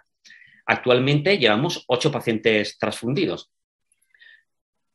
Y nuestro objetivo es llevarlo al resto de helicópteros eh, de Andalucía. De ahí que hablemos de proyecto TREX, estando todavía en su fase de proyecto. ¿Cuál es nuestro objetivo? Pues que el sistema de emergencia de nuestra comunidad pueda dar cobertura transfusional extrahospitalaria pues, a todos los ciudadanos de, nuestra comunidad. Eh, la incorporación de la, hemoterapia eh, a nuestro sistema de emergencia a través de nuestro helicóptero del 061, la verdad ha sido una tarea bastante laboriosa, larga y ardua. Antes de llegar aquí a lo que yo pongo en tercero de fase de transfusión, que sepáis que hemos tenido que superar una fase de validación previa con requisitos marcados por la Red Andaluza de Medicina Transfusional para pasar después a una fase de autorización sanitaria. ¿Cuáles eran los objetivos que se planteaban en esta primera fase, la de validación? Pues sobre todo que cumpliéramos la normativa que está establecida y que es muy férrea, eh, eh, donde están publicados todos los estándares de calidad transfusional. ¿Sobre qué se ceñía estos objetivos? Pues sobre todo por si éramos capaces de mantener la temperatura tanto en almacenamiento como en transporte y el objetivo principal era que comprobáramos, que le demostráramos que éramos capaces de tanto conservar como transportar en un helicóptero que en verano está a una altísima temperatura, que tiene vibración y que está sometido a una altitud, y ellos lo que querían ver es que, que ese componente sanguíneo que nosotros llevábamos de ello no se resentía en su calidad. Justamente para eso lo que hicimos fue esta fase de pilotaje de validación, llevarla en los meses de verano, que era cuando había mayor estrés térmico y cuando iba a ser más difícil de conseguir. ¿Quién no hizo los controles de calidad? Pues lo hizo el Centro de Transfusión de Málaga, que también era quien nos daba el componente sanguíneo. ¿Qué nos daba para la fase de validación? Pues no nos daba cero negativo. En esta fase de validación no existía transfusión sanguínea. Nos daban siempre dos bolsas de concentrado de Matías, que era lo que pretendíamos llevar nosotros a posteriori, nos la daban del grupo que mayor demasía tuvieran en el centro de transfusión y la teníamos durante dos semanas. todas las asistencias que hacíamos, la nevera de transporte salía con los dos concentrados de Matías y cada dos semanas lo que hacíamos era entregar esos concentrados de Matías con el registro encriptado que genera el data logger y con la tabla con toda la información de los vuelos que íbamos haciendo. En total, ¿qué no hicieron? Pues 12 controles de hemolisis y 6 controles de contaminación bacterianas. Y bueno, pues todos salieron correctos, con lo cual conseguimos el aprobado de esta fase de, validación. Muy bien, superamos la fase de validación. ¿A qué vamos? Pues a la fase de autorización sanitaria. Tenéis que saber que desde que empezamos el proyecto 3 en la primavera del 2021 y se entera la Consejería de Salud a la que se le informa, nos asignan un inspector propio de la Consejería de Salud que está al tanto y viendo cada uno de los pasos que vamos consiguiendo. Y este inspector nos solicita, una vez que hemos superado la fase de validación, nos solicita ciertos mm, criterios ¿vale? para poder darnos esa certificación. Entre ellas, por ejemplo, el procedimiento conjunto de trazabilidad, por eso necesitamos una unidad de hematología y un servicio de transfusión que colabore con nosotros. Nos solicita un manual de gestión de calidad donde debe de venir implementada toda la formación de los profesionales, como debe de ser, y donde habla de indicadores de calidad. Y por último, nos pedía el procedimiento completo. ¿Qué quiere decir eso? Pues que en la fase de validación habíamos puesto en marcha operativas pretransfusionales, pero no teníamos ni la operativa transfusional, ni teníamos las operativas posttransfusionales, ni todos los formatos. Este, esta fase que nos llevó pues cuatro meses el conseguirlo todo. ¿Y qué sucede a principios de marzo del 2022? Que el inspector viene a la base del ELMA y nos hace una auditoría in situ. Nos pide toda la documentación, todos los requisitos que de antemano nos solicitó. ¿Y qué sucedió el 25 de marzo? Pues el 25 de marzo es una fecha eh, histórica, un hito que debe de marcar la sanidad pública andaluza. Y es que el inspector de la Junta de Andalucía nos mm, hace llegar su informe por correo electrónico y nos informa que la base 061, el ELMA, ha conseguido la autorización convirtiéndose en el primer centro extrahospitalario de Andalucía que tiene capacidad depositaria y transfusional, que además es validado por la Real Andalucía de Medicina Transfusional y además autorizado por la propia Consejería de Salud y Familia. ¿Esto que no abre la puerta? Conseguir la autorización nos abre la puerta a poder realizar transfusión. Es en este momento, el 29 de marzo, cuando llegan las dos unidades de concentrado de Matías cero negativo a la base del ELMA. Y a partir de ese momento sí que podemos transfundir. ¿Qué sucede con nuestro procedimiento de transfusión? Y aquí sí voy a cargar un poco las tintas, aunque todo esto lo veremos bastante más expuesto después en nuestra sesión de, de marzo es la complejidad, quiero que entendáis la complejidad que tiene este procedimiento, porque los compañeros que venimos del hospital y que alguna vez hayamos realizado una transfusión, hacemos esto, el acto transfusional. Nosotros, evidentemente, tenemos un acto transfusional con nuestras especificaciones extrahospitalarias, pero es que como somos centro depositario, actuamos como banco de sangre y como servicio de transfusión. Por eso tenemos cuatro operativas pretransfusionales que suceden siempre en la base y que siempre están permanentes haya o no haya transfusión. Y cuando existe transfusión, es decir, llevamos a cabo el acto transfusional, por fuerza tenemos que empalmar dos operativas posttransfusionales, que son exactamente las que hace el servicio de transfusión hospitalario. En conclusión, para que veáis la complejidad, estamos hablando de un procedimiento que tiene siete operativas, cuatro pretransfusionales que siempre pasan en la base, un acto transfusional y dos posttransfusionales que siempre suceden en el hospital. La complejidad de este procedimiento hace que antes de que se convierta en procedimiento específico en el ELMA, nos obliga tanto Dirección Asistencial de 061 como la Red Andaluza de Medicina Transfusional a hacer una fase de pilotaje y a presentar datos de cinco pacientes transfundidos. Para eso nos da un periodo de seis meses. ¿Y qué hacemos nosotros en este periodo? Pues no conseguimos cinco pacientes, conseguimos seis pacientes. Estos pacientes los veremos también en la próxima webinar que los desarrollaremos todos. Ahora, como hay poco tiempo, pues deciros simplemente que esos seis pacientes que hemos transfundido, pues el primero fue el 1 de mayo del año pasado, el último de este periodo de pilotaje del proceso completo fue el 24 de agosto. Los 100 el 100% de estos pacientes transfundidos han sido traumas graves porque tenéis que saber que nuestro procedimiento de transfusión va dirigido al paciente hemorrágico, no al paciente traumatizado grave, aunque es verdad que al 99% es nuestro paciente diana que hemos hecho de las seis transfusiones, tres transfusiones se han hecho en Málaga, tres transfusiones se han hecho en la provincia de Granada y lo que es más importante para el proyecto y lo que nos estaban mirando con lupa era que el 100% de estas transfusiones han sido continuadas. ¿Qué quiere decir eso? Que la indicación prehospitalaria ha sido correcta, porque todos estos pacientes, cuando han llegado al crítico del hospital, han activado protocolos de transfusión masiva y han continuado con la transfusión que inicialmente hemos empezado nosotros. Y sobre todo, que en ninguna de esas transfusiones ha habido ni incidencia eh, ni reacción transfusional ni ningún tipo de incidencia. Ni siquiera ha habido un reticente ¿vale? a nivel hospitalario con los profesionales. Al final, eso sumado a que hemos demostrado que somos capaces de, garantizar tanto la conservación, el transporte y la trazabilidad y sobre todo eh, tenemos mm, cubierto al 100% un ítem de calidad eh, innegociable que el inspector nos puso y era que el proyecto no podía costar sangre. ¿Qué quiere decir eso?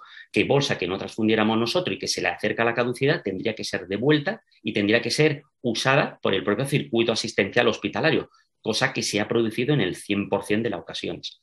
Entonces, todo esto sumado, ¿a qué llegamos? Pues a la conclusión definitiva, pues que el TREX, la transfusión extrahospitalaria, ha demostrado que es seguro, que es completamente fiable y que es, para colmo, hasta económico.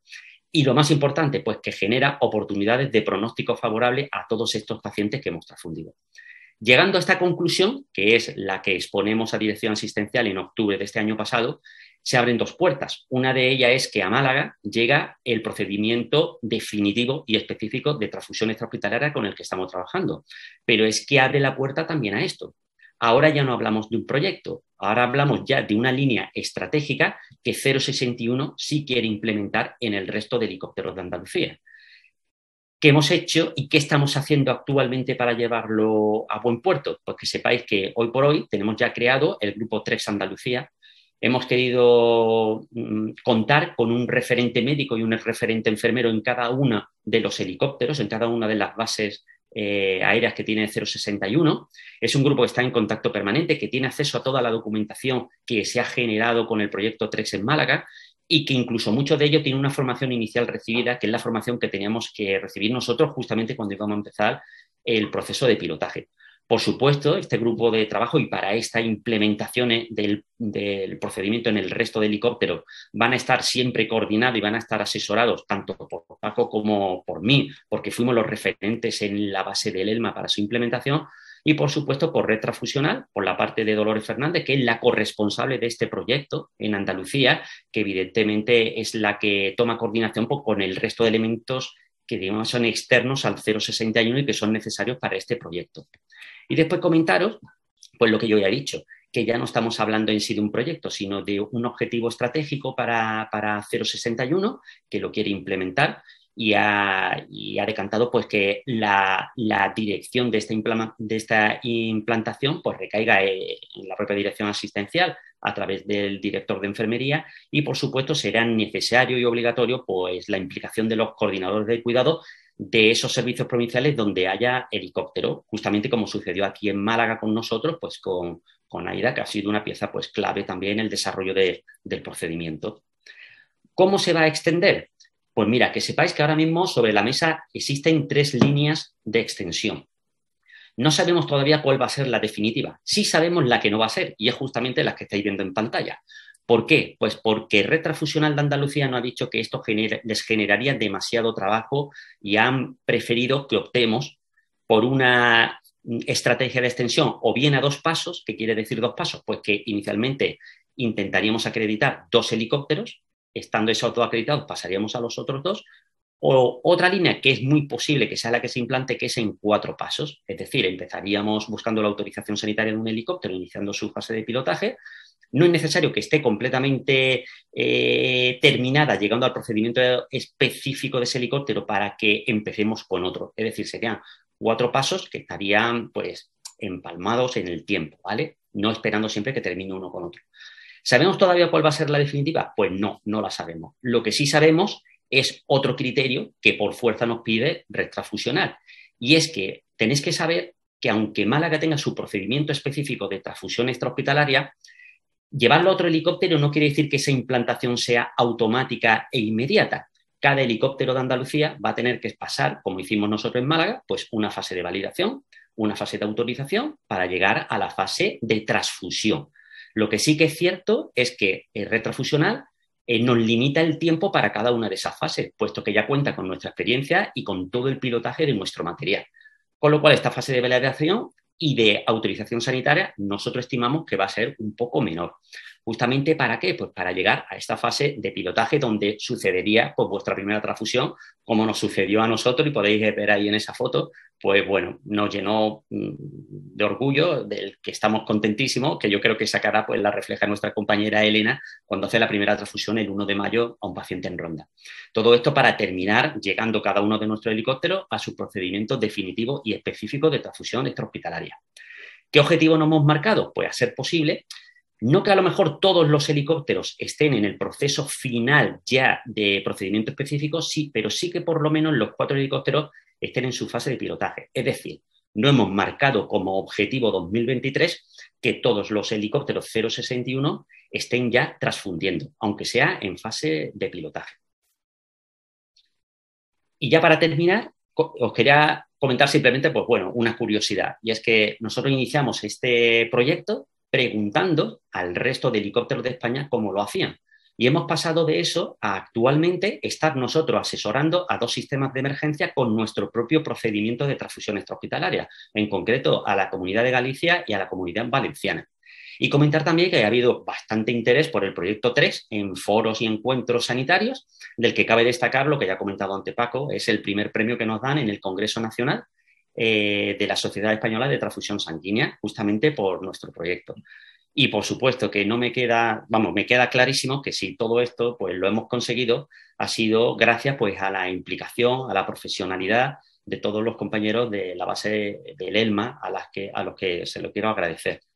Y también evidentemente pues a todos vosotros pues agradeceros vuestra, vuestra atención y vuestra asistencia. Y os emplazo a todos al mes de marzo donde desarrollaremos en muchísimo más profundidad, pues todo lo alcanzado en este, en este proyecto. ¿Vale? Venga, muchas gracias.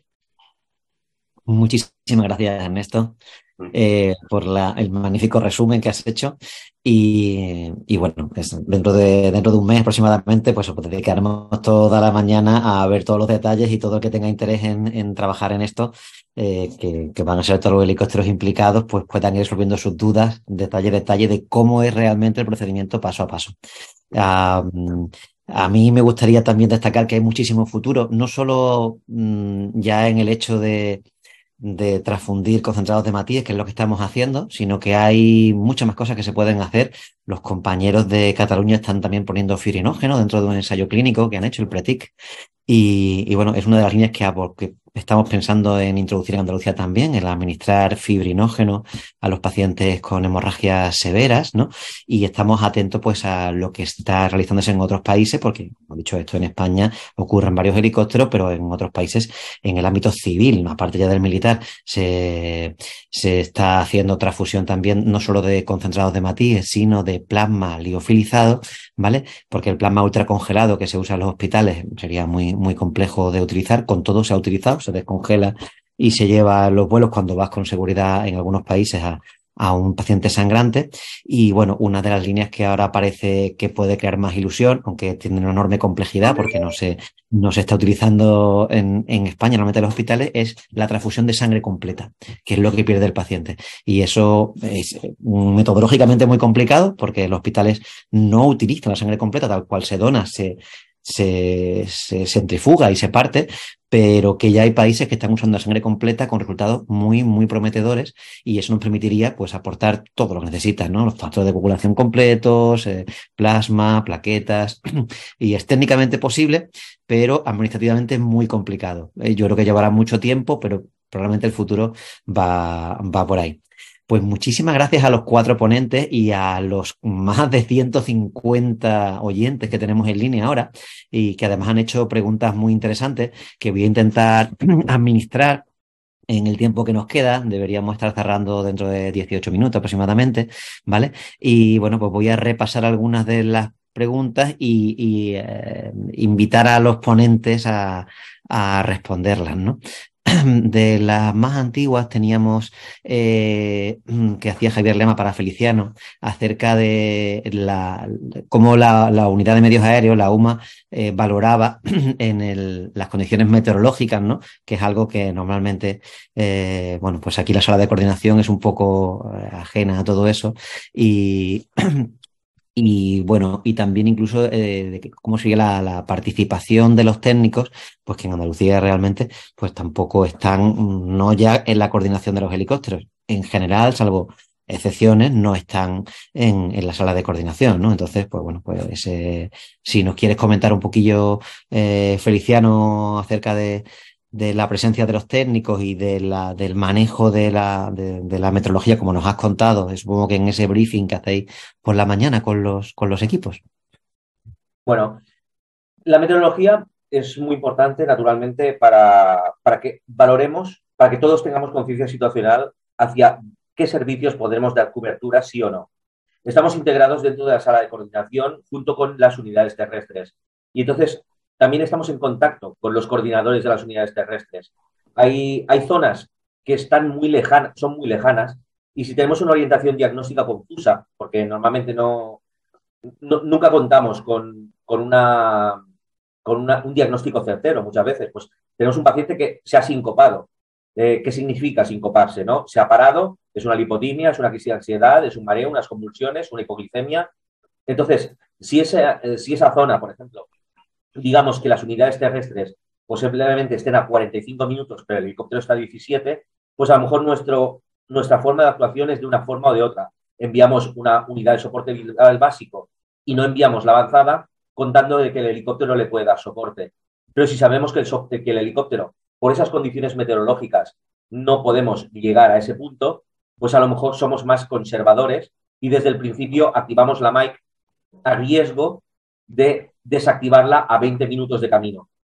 ¿Vale? Entonces, claro, e, el hecho de que sepamos ya de antemano, pese a que la última palabra siempre será la del comandante, si puede llegar o no, pues tener esa previsión de poder llegar o no eh, es importante para la gestión global de todas las emergencias.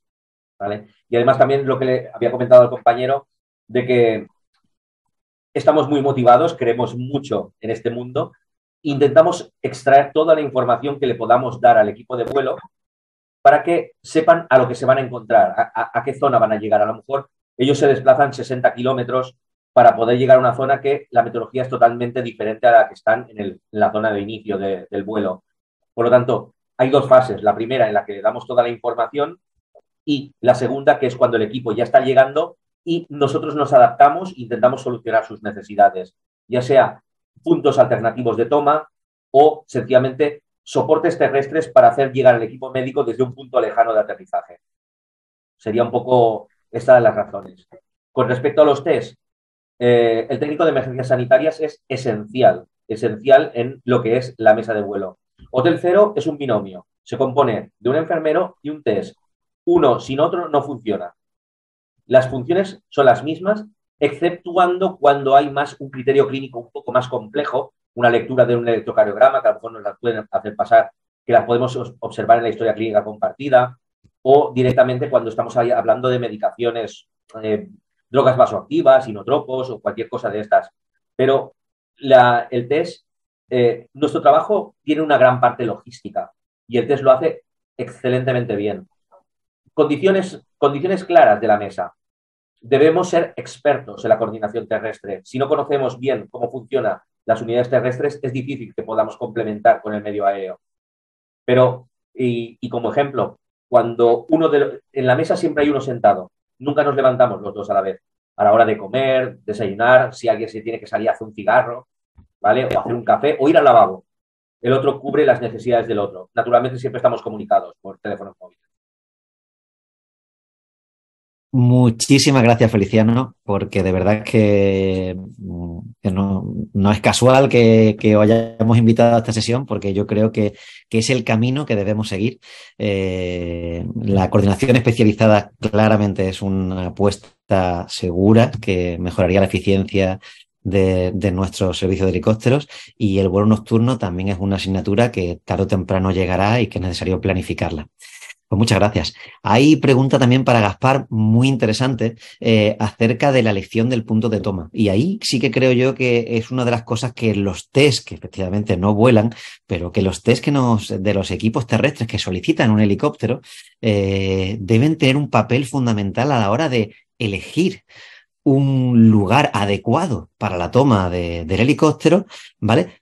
que reúna las condiciones de seguridad y señalizarlo de forma eficiente para tanto la carga y descarga del paciente como para que el piloto pueda facilitar su, su aproximación y, y, toma. Entonces, un poco si nos podías recordar, Gaspar, eh, eh, nos hablaban de si eh, había diferencia entre patines o ruedas. La verdad que en Andalucía todos los helicópteros nuestros utilizan ruedas, lo cual es verdad que efectivamente em, limita en cierto modo, ¿no? Por ejemplo, en la nieve, las ruedas se pueden hundir con, con más facilidad que los, que los patines o para hacer apoyos parciales, pero en Andalucía la realidad es que todos los helicópteros que tenemos tienen ruedas y eso limita en cierto modo eh, la toma en sitios de terrenos blandos eh, pero también es verdad que nos da una velocidad muy superior a los helicópteros que tienen patines y es una comunidad grande donde esa diferencia de velocidad eh, se nota en la, en, la, en, la, en la, asistencia. Pues Gaspar, si estás por ahí, coméntanos algún un poquito para aclarar un poco sí, esos puntos de toma, cuáles son las cosas fundamentales. Sí, pues estaba, la pregunta era sobre todo si influía mucho si el, el helicóptero es de rueda o es de patines. Es cierto que al ser emergencia sanitaria, no de rescate, rescate sí que se hace bastante eh, necesario que sea de, de, Kiev porque te da mucha facilidad a la hora de hacer tomas parciales y otro tipo de trabajos que con, con las ruedas se te complican mucho. Pero más que el tema de si el helicóptero es de rueda o es de patín, lo que más nos afecta es la, la zona de toma, no es exactamente el terreno, si es pedregoso, si es de tierra, lo importante es la elección de, de, la zona, tanto por las dimensiones del helicóptero como por la zona de aproximación y la consideración más importante, el del nivel, porque a veces el problema no es tanto si el terreno es propicio, porque a lo mejor puede ser de grama, de, que está, está, muy bien para aterrizar, pero si el del nivel es importante, lo, los helicópteros no van a poder tomar ni, ni en esquí ni con ruedas. Eh, tienen ciertas limitaciones que vienen dadas por el, por el rotor principal, que no puede tener una inclinación mayor que el helicóptero en un determinado punto y no difiere la rueda de, del esquí. Entonces, es, es, recomendable buscar una zona que, que, no tenga más de un 10% de, de, desnivel, más que de si es pues grama, tierra y demás. Y si fuera tierra, pues intentar ver que sea compacta, como nos pasaba antiguamente, ¿te acuerdas? Que había muchos campos de, tierra de fútbol, que antiguamente por lo que se hacía era regarla, pues lo que se busca es que no se levante, que no se levante tierra para que no nos dificulte la, la visibilidad. Pero realmente es más prestar atención a la inclinación del terreno y lo despejada que sea la aproximación que, a, que el material del que está compuesto. Muy bien, muchas gracias, Gaspar. Tenemos también una pregunta interesante de Guillermo Pérez para, para Ida, que habla de tenemos un paciente con una sospecha de un neumotórax simple identificado, me supongo que identificado sospechado, ¿no? Eh, es recomendarle abordarlo previo al vuelo, aunque bueno, el neumotórax simple, mmm, el abordaje solamente de, de observación, o sea, no, no. O preparar las herramientas para abordarlo en el vuelo. Si nos quieres comentar un poquillo eso, si tenemos, vamos a embarcar un paciente con una sospecha de neumotora simple, y supongo, o yo quiero pensar que debía, debe influir de si ese paciente está o no con ventilación mecánica. ¿Mm? Que tiene conversión positiva. Exacto. Si tenemos una neumotora simple, si nos queríamos preguntar al paciente, se escucha, escucha, se escucha fatal. Se escucha fatal. se escucha francamente mal.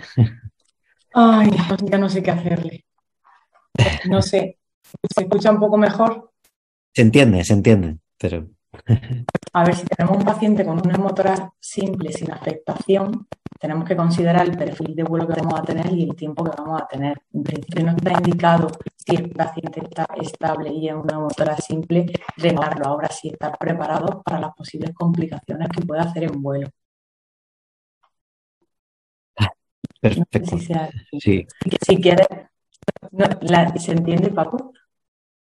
Sí, se entiende. Si quiero, lo, lo, traduzco porque alguien no lo ha entendido bien, pero bueno, sí que si sospechamos un, un motora simple, evidentemente cuando eh, le vemos el vuelo, sobre todo dependerá del tipo de perfil de vuelo. Si tenemos un paciente a nivel de la costa, digamos en, no sé, en Almuñécar, y tenemos que llevar al paciente a Granada y tenemos que sobrevolar al Alpujarra y vamos a subir, por tanto, del nivel del mar a más de 2.000 metros y lo vamos a dejar en un hospital en Granada que está a más de 600 metros sobre el nivel del mar, pues que el volumen atrapado en esa pleura eh, pues va, va, a aumentar durante la fase de vuelo y va a comprometer la ventilación del paciente. Entonces, sobre todo si está con ventilación eh, mecánica, con presión positiva, eh, desde luego puede ser interesante tener previsto lo que sería el drenaje, eh, o bien antes del vuelo o durante el vuelo, porque el drenaje es una cosa que se puede hacer incluso durante el vuelo, ¿no? Pero eso todo dependerá de si estamos o no con ventilación con presión positiva y del tipo de perfil de vuelo que vamos a utilizar, porque si lo tenemos un paciente en el hospital de Osuna y lo vamos a llevar a un hospital de Sevilla, pues prácticamente eh, no va a haber un importante cambio de presión. Entonces, en ese tipo de perfil de vuelo no es tan, tan importante eh, el, drenaje, ¿no? El, el, probablemente va a mantener un volumen muy similar porque mantenemos probablemente 500 pies o inferior respecto al suelo, que son 160 metros. Eh, no, no va a incrementar el volumen de forma, de forma importante. muy bien, pues Hay algunas preguntas más interesantes. Vamos a tratar de apurar estos siete minutillos para que, que nos quedan. Eh, Fernando Lara nos ha preguntado. Dime. Había una error en una de las diapositivas que ha comentado en pregunta respecto a un compañero, que al copiar y pegar las provincias se ha quedado Huelva en vez de Cádiz. Entonces, para, que ha sido un, error. yo la comparto un momento, que teníamos esta errata en la diapositiva. ¿Vale? Huelva no tiene eh, ubicación de helicóptero, pero, pero eh, está cubierto por los, helicópteros tanto de Cádiz como de Sevilla. Claro, pensás que el helicóptero de Cádiz está en Jerez realmente, ¿no? Y cubre, cubre muy bien Huelva, igual que Almería se cubre con el helicóptero eh, de Baza. La distribución de los helicópteros de Andalucía es un poco peculiar, ¿no? Que tenemos dos helicópteros en el centro, dos en helicópteros en el poniente, pero tenemos solo un helicóptero en el oriente. Sí, es verdad que es que ese helicóptero es precisamente el que tiene más capacidad, ¿no?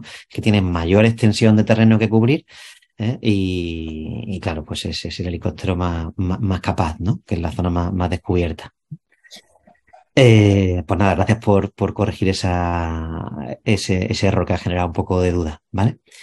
Eh, aquí Fernando Lara nos dice también, eh, nos ha hablado de las discrepancias entre los equipos terrestres y aéreos por la indicación de los medios aéreos, sobre todo en tiempo dependiente. Y eso va un poco al hilo de la mesa de recursos aéreos, de cuándo es interesante enviar un helicóptero y cuándo no. Y, él nos pone como ejemplo, me refiero a comentarios del tipo, en lo que yo tardo en ir, cargar y volver, tú ya has llegado. Eh, me gustaría que se hablase este tema a modo de ejemplo, aviso en Lucena con crona terrestre de 35 a 40 minutos a Córdoba y crona aérea de 20 más 20 más transferencia. Pues efectivamente, Fernando, es uno de los temas que tener una mesa específica de coordinación nos ayudaría muchísimo. Eh, el helicóptero no siempre se activa para ahorrar tiempo. Desde luego, ese sería el principal criterio, ¿no? Si, eh, pero em, a veces eh, nos permite a lo mejor dar un tratamiento que la unidad terrestre a lo mejor pues no va a poder eh, administrar, por, ejemplo como la transfusión, ¿no? O determinada eh, monitorización, o simplemente pues porque el recurso terrestre no está disponible, entonces se hace en helicóptero pues porque no hay un recurso terrestre disponible y se usa como alternativa.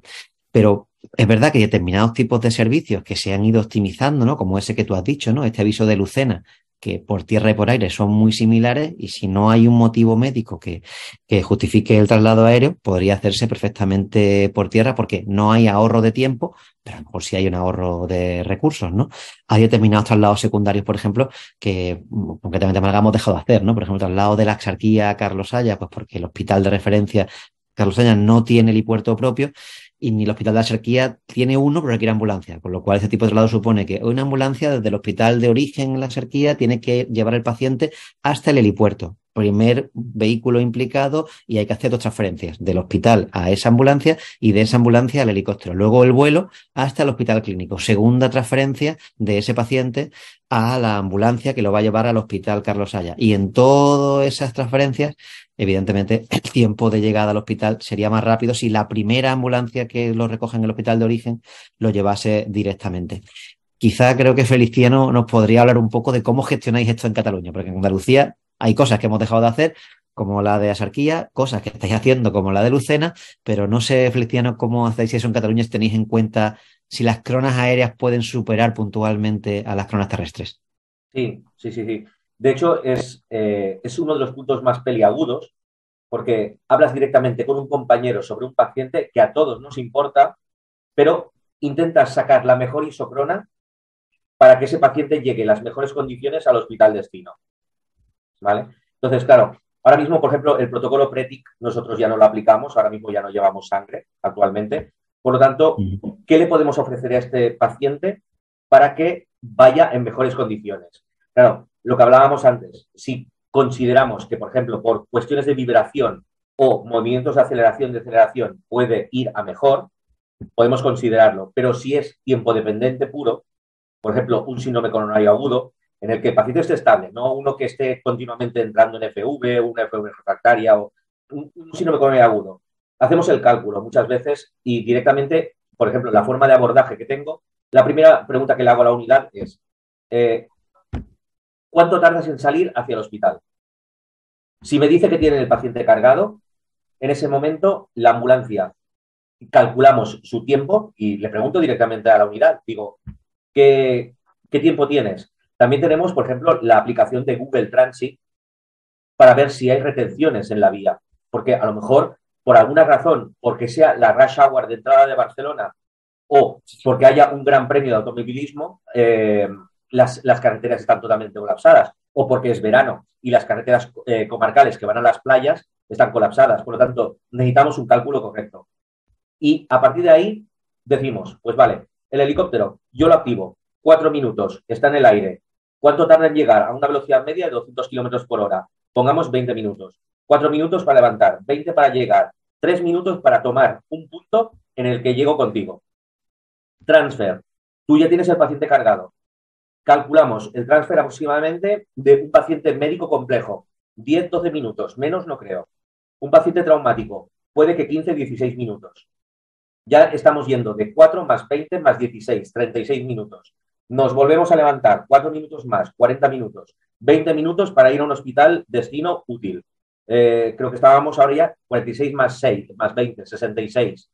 Toma de tierra, otra vez, 2-3 minutos. ¿Necesitamos transfer a ambulancia, sí o no? Si hay transfer a ambulancia porque la superficie no es directa encima de la superficie, estamos en 66 minutos, 2-3 minutos de toma, 69, transfer a la ambulancia, unos 8 minutos 10, ¿vale? Eh, estaríamos en 78, creo. 5 minutos de desplazamiento, 83 minutos. ¿Tardas más de 83 minutos en llegar al paciente? ¿Sí o no? Fin.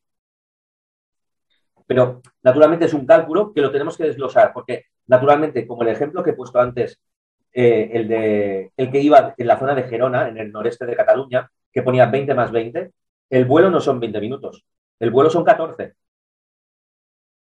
Son 14 minutos en la presentación que he puesto. Lo que pasa es que ya contamos los tiempos que hay de llegada hasta el punto. O sea, desde la elevación del helicóptero, lo que es el viaje y bajar.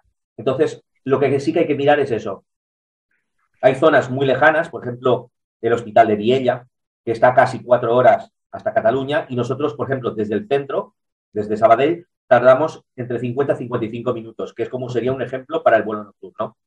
¿Cuánto tardaría el paciente? Pues aproximadamente dos horas y media desde que se activa. Con una ambulancia terrestre, cuatro horas. la ganancia es obvia. Pero todo depende de las condiciones climatológicas, naturalmente, el número de transfers que se tienen que hacer, si es directo o no, y naturalmente hay veces que la unidad, naturalmente con todo, con todo el cariño del mundo, y además lo dicen, es el paciente está preparado y con un lacito. ¿Vale? dices, vale, entonces ya puedes empezar el traslado. Por lo tanto, ya calculamos solo traslado terrestre. Y lo que hacemos es comparar los tiempos. Y es, es un cálculo que hacemos en menos de un minuto. Muchísimas gracias. La verdad es que a mí se me calaba de escuchar realmente que una sala de coordinación sea tan consciente de los tiempos de transferencia, vuelo. Eh, eh, espero y confío en que vayamos por ese camino y, y nuestra sala se, lleguen a hacer todo ese tipo de, gestiones pronto. La verdad es que ese es, un gran cambio en la eficiencia de los helicópteros. Y estamos ya en tiempo de descuento, deberíamos ir finalizando. Mm, tengo que recordaros que rellenéis la encuesta al final, ¿vale? Cuando os hagáis la sesión, ¿vale? Eh, se envía de manera automática a todos, ¿vale? Cuando cerréis, rellenar la encuesta, que es importante de cara a la acreditación. Se nos quedan preguntas en el tintero, pero creo que no puedo, no podemos prorrogar esto muchísimo más. Hay alguien, por ejemplo, que ha sugerido que la ubicación del ELMA podría ser en Antequera. De hecho, lo va a ser. El ELMA se va a mudar a Antequera. El costo de Málaga pasará de Málaga. Podemos seguir Paco, podemos seguir unos minutos más, ¿eh? que vamos ah, vale, unos minutillos más se puede. Vale, vale, vale, vale, de acuerdo. Bueno, pues eh, voy entonces repasando un poquito las preguntas que tenemos abiertas, ¿vale? Eh, creo que sobre los T ya hemos hablado. Eh, Eh, hay muchas precisamente sobre la coordinación de helicópteros, sobre las conflictividades que están generando en muchas ubicaciones, eh, activaciones de helicópteros que pensamos que se va más tiempo que por tierra y tenemos que ser muy conscientes de ello. Eh, Jorge Domínguez nos habla de lo interesante que sería un protocolo de transferencia del equipo de helicópteros. Eh, pues con diferencia son los equipos que tardan más en realizarla y son los que más veces eh, los que más veces la hacen en una asistencia. Pues sí, y es una de las cosas que está trabajando precisamente ese comité o comisión de, de helicóptero, ¿no? Que, que hay dos representantes de cada helicóptero que trabajan, digamos, en ese comité a nivel regional, pero que los comités locales os invito a todos los que voláis de forma habitual u ocasional a que os integréis en esas comisiones, donde uno de los objetivos precisamente de este año es desarrollar procedimientos específicos, ¿vale? Para el helicóptero, que, bueno, ahora mismo tenemos ya, por ejemplo, un estocaje específico, pero tenemos que hacer procedimientos específicos como el de transferencia, es uno, y bueno, y muchos más, ¿no? Es un medio diferente y tenemos que desarrollar esos, esos procedimientos. Así que me gustaría invitaros a todos los que estéis interesados en que os integréis en esos comités.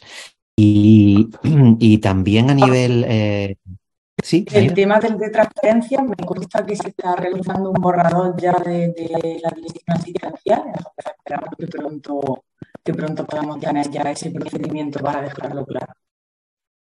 Vale, se te ha entendido, o lo voy a traducir porque se entiende regular, que ya hay un borrador, ¿vale? De estos procedimientos, ¿vale? Y que, bueno, que habrá que revisarlo entre todos y que nos estamos reuniendo cuatro o cinco veces al año los del comité de helicóptero y estamos optimizando y puliendo todo este tipo de, procedimientos. Está claro que tenemos una línea respecto a procedimientos, otra respecto a formación, tanto de la gente que vuela como de la gente que no vuela, pero se aproxima y transfiere pacientes a los helicópteros, ¿vale? Y desde luego nos encantaría tener una línea de formación en coordinación.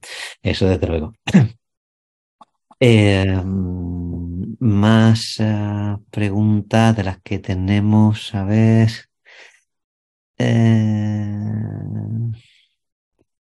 si hablan algunos sobre la reubicación de los helicópteros. Bueno, yo creo que esto es un tema realmente, no sé, Aira, si nos puede comentar algo. Nos cuentas, Juan Olegario, eh, que si está bien ubicado el ELCA, que está dando cobertura a la Sierra de Cádiz, pero que tiene una parte de cobertura en el agua. Evidentemente, el, círculo de la isocrona, tiempo de 20 minutos, cuando un helicóptero tiene mucha isocrona en el agua, evidentemente ahí no aportamos, no aportamos mucho. Nos conviene realmente eh, ponerlos donde, donde tiene más tierra. También es verdad que se concentra mucho parte del helicóptero de Cádiz, tiene una parte de crona en el agua, pero también tiene una parte de crona que se superpone perfectamente al de Sevilla.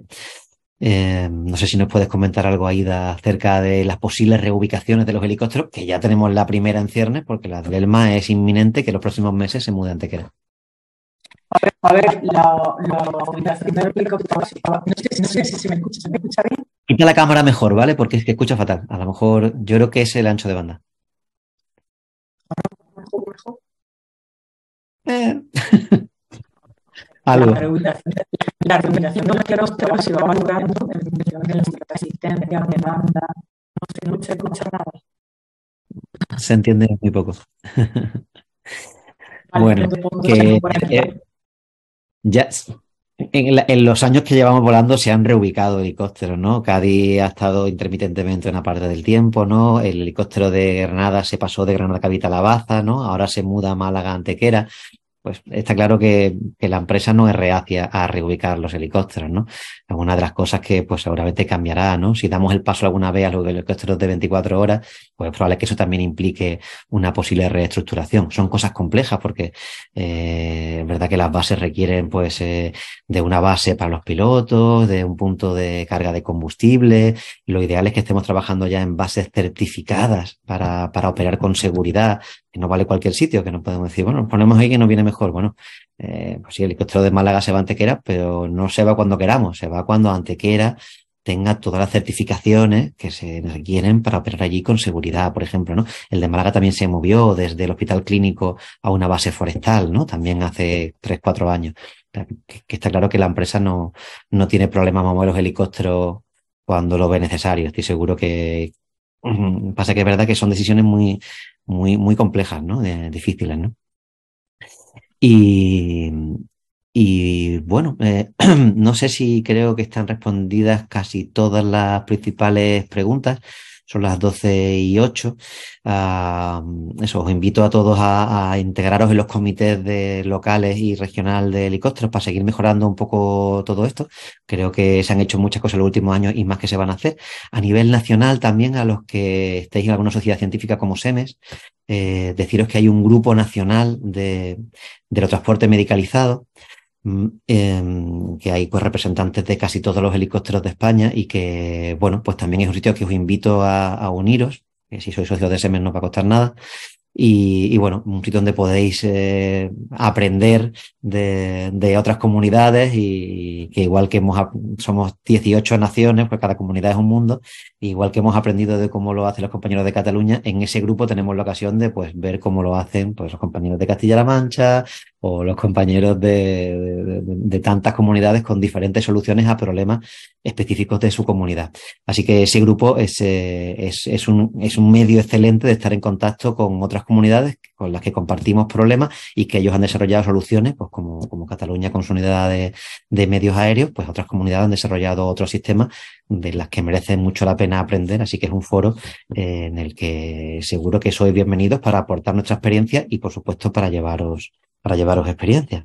Pues eh, Manolo de, la Cal, si nos quieres comentar alguna cosa, no sé si Fernando aún nos puede decir unas palabras o no, entrar a reunión. Eh, eh, Fernando es que hoy tenía un día muy complicado, que normalmente se queda con nosotros más tiempo y hace una presentación un poquito más extensa, pero entre los problemas técnicos que han surgido y, la agenda, pues ha sido un poquito más difícil. Yo solamente puedo daros las gracias y bueno, estamos aquí un poco en la retaguardia intentando que esto funcione lo mejor posible y, nada, y he disfrutado bastante como en la mayoría de las sesiones. Os quería recordar que todas las sesiones clínicas se, todas las sesiones clínicas se están grabando, voy a poner la cámara, que todas las sesiones clínicas se están grabando y se cuelgan en el canal de YouTube y de la, de, del 061 y ahí se las podéis ir viendo, están completas desde el año, desde el año pasado. Y por otro lado, la evolución que estamos teniendo con las sesiones clínicas, la verdad que es estimulante porque cada día hay más inscritos y eso la verdad que ayuda al trabajo que tiene en montar una sesión clínica y coordinar a todos los ponentes, y todo ese tipo de cosas. En alguna ocasión, pues bueno, pues recibimos comentarios a veces no tan agradables, pero bueno, lo vemos como, como puntos de mejora, ¿no? Y, pero entender una cosa, mira, cuando se organiza una sesión clínica, eh, estamos normalmente más centrados en que todo funcione bien, en que los contenidos sean los más interesantes y no, y no nos metemos en otros aspectos, sobre todo temas laborales, de las categorías profesionales, de verdad, que nunca hay un ánimo mm, en ese sentido sino simplemente del contenido científico, de lo que vemos que es más interesante, que pueda ser más interesante para nosotros. Yo, como sabéis, soy médico y tengo el mismo interés que el resto de vosotros en, compartir y en, enterarme de estos aspectos. Y, por supuesto, estamos abiertos siempre a que nos digáis cualquier, eh, cualquier necesidad o que veáis cualquier incidencia, porque el ánimo es de mejorar y de ir aprendiendo todos entre todos. Así que yo eh, acabo eh, dando las gracias a todo el mundo que ha participado, a sistemas que siempre está ahí detrás, que tienen un trabajo bastante pesado en el sentido de que están siempre detrás de la cámara y no se les ve. y me gusta siempre romper una lanza a favor de ellos. Así que nada, Paco, muchas gracias por todo y a los asistentes también.